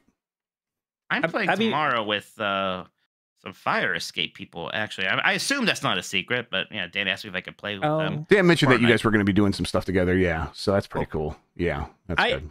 I, I've been playing with randos all the time now, and it's been working fine for me. Some people uses their their mic, and some people don't. They just use the marking, and Right. you know, it's like in world, so it, it works really fine. And the connections have been good when you connect. Sometimes you had to like reconnect a couple of times, but it's been working like flawlessly since they patched it. So Yeah. really happy with that. For that game, it just continues to be like, yeah, I mean, it's so Helldivers one, uh, and yet it's so much more, or it's, So it's much- or it's just it's just hitting so much more in a lot of ways, and obviously a big part of that is the way the perspective works and how they handle the visuals, so the so you really feel like you're in it that much more, obviously, and that's really important. But um, I don't know, I just really like that that game is finding an audience, and that we all kind of agree that it is an amazing thing. And I, you know, really their website says it like that. A game for everybody is a game for no one. Um, this is a game for people who want this kind of thing and they just go that far in that direction or as far in that direction as they possibly can. Every choice is in service of does it make it feel more dangerous? Does it make it feel like everything matters? And it's like, yes, then that's what we're doing. Uh, so yeah, huge fan of Helldivers 2. Um, I'm glad that it's a success and glad that studio's like, hey, we are hiring up so that we can do even more with Helldivers 2. I hope it's a, a long running success. All right, uh, Mike, super chats. I think there's a handful more. Why don't you read those and then we'll get out of here? Yeah, let me see if I can catch up here. Da, da, da. Uh, chance to change. Don't forget Arkham Knight. Green Thumbs was just. Uh, I don't think there's any text in this one. There was no you, message there, but thank you, Green Thumbs. El Grug says put uh Grow Home above Bloodborne for Tam. I never played Grow Home. Grow Are a Home's good. Grow Home person. Yeah, I like Grow home a lot. Zubmer says Nora is a better protagonist than uh Geralt. Is Nora from Life is Strange? Is it something else? I don't know. It's Nora from. I don't think Nora's from Life is Strange. I think It's Nora from. No, it's definitely not from. the- Is Nora from Honey Pop? I don't think so. I think I remember their names. Nora, video you game think. character. Let's see. Uh, Somehow this is going to be a oh Fallout. Oh, Fallout. Okay, sure. Yes. I disagree. Um, Rogers OG says, Jeff, for the love of God, you need to play BoxBoy. I think that's the game I was complaining about. Uh, that yeah, looked- that was it- just, yes, like- it was. Yeah, and you're like, is, is, is, there such thing as too minimalist? And then you started going on a rant. And we all just ignored you. Yeah. No, that was a good rant. I was making a good point. Uh, No, Everyone's like, we love this game, and you're just like, there's not enough graphics. Look, I'm sure it's fine. But I mean, look, I, I, a little, I could use a little something. I don't know. Uh, Rogers OG says, Jeff, for the love of God, you need to play. Oh, that, that's the one I just read Remix. about Box play again. Yeah. Re- Look, like even if a game looks like an Atari game, that would be more aesthetically interesting to me than literally just like lines. Uh, maybe, maybe it animates really well. You don't know. maybe, maybe, maybe not. Alex O'Leary says, found out what the Xbox podcast means for Tommy Tallarico. just not his name. Give, you, It's give him ten dollars. You said Alex O'Leary. That's just Did I not. say Alex? What are you I talking think you said? Alex. Well, I don't have my glasses on. I Mikey O'Leary writes in like every episode. How can I say his name wrong? What's wrong with me? You got me all hot. oh, shoot hot! Everybody, stand back. He's mad about BoxBoy. Wait, wait, wait. I think you said Mike. I thought he said Alex O'Leary. Maybe, maybe I misunderstood. Stand back, everyone. He's mad about Box. Uh, Mikey O'Leary says, found out what the Xbox podcast means for Tommy Tallarico. His San Juan Capistrano home's up for sale. Three million, and it is truly garish. This is real. Well, not the Xbox podcast. Jeff, imagine if we bought Tommy Tallarico's home. All right, everybody, uh, let's get the GoFundMe going. God. Oh my god. Ah. We could like run tours and stuff. The Tommy Tallarico experience to get to pay for it. I'll, I'll say, hey, I'll give you your asking price in cash if I can keep the Guinness World Yes, of course. Yeah, leave him on the wall. Oh man, Is it House from Cribs? uh, he was never is. on Cribs. He was never actually on on Cribs. twice. He was never on actually twice. on any real His Cribs was really episode. Man, that's incredible. He just lies about being on fucking Cribs. it's like it was like it was like some video game It's show, like- right? It I, I, mean, there remember are there are a lot of people of like from like that generation, think, who were so into hustle culture that it was like, well, of course you like you you exaggerate and you know they don't think it's lying. Well, you exaggerate because you got to really promote yourself. And uh, then the internet happened, and we can actually just document Yeah, all the right, lies, right. and now they all look. Oh, you said this on TV and it's just not true. Yeah. Uh, Incredible. um, oh, that's it, everybody. Uh, thank you so much for the super chats. Really appreciate it. Thank you. I hope Tommy saved his money. I think he's going to need it.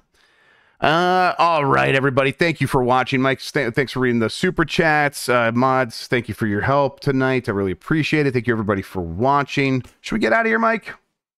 Yeah, let's get out of here.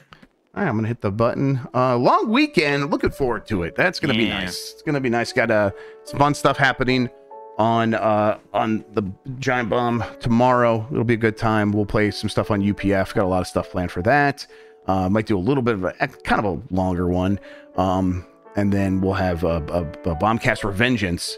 We'll do some fun stuff on there. I'll bring some games to talk about probably, and we're gonna do is this character more or less famous than Cloud Strife? So gonna have some fun with that. Uh, other than playing games, you're gonna like get out there. I know you had, you sound like you had a pretty social butterfly weekend last week, and are you gonna kind of take it easy this one this weekend?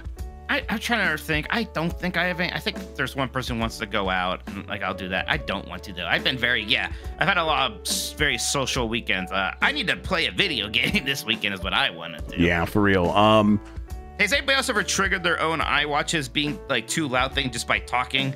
Is that how loud and obnoxious a person I am? sounds like you're in a loud environment. You should exit and save yourself. It's like that's me. for I can't leave myself. Just from me talking loudly, my phone's like, ah, you're gonna hurt your ears if you stay in this room.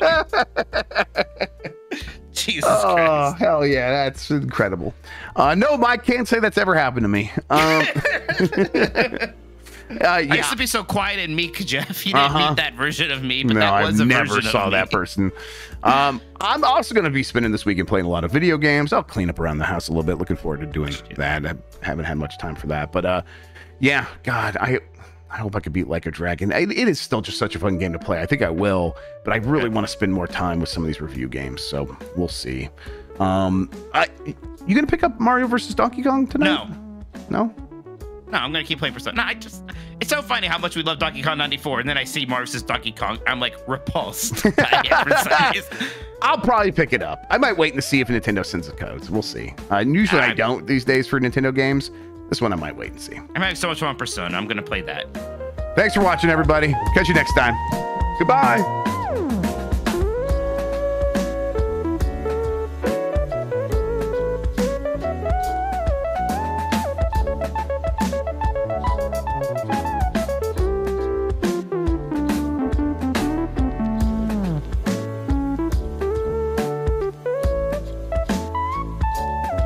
He's shoot hot about Box Boy.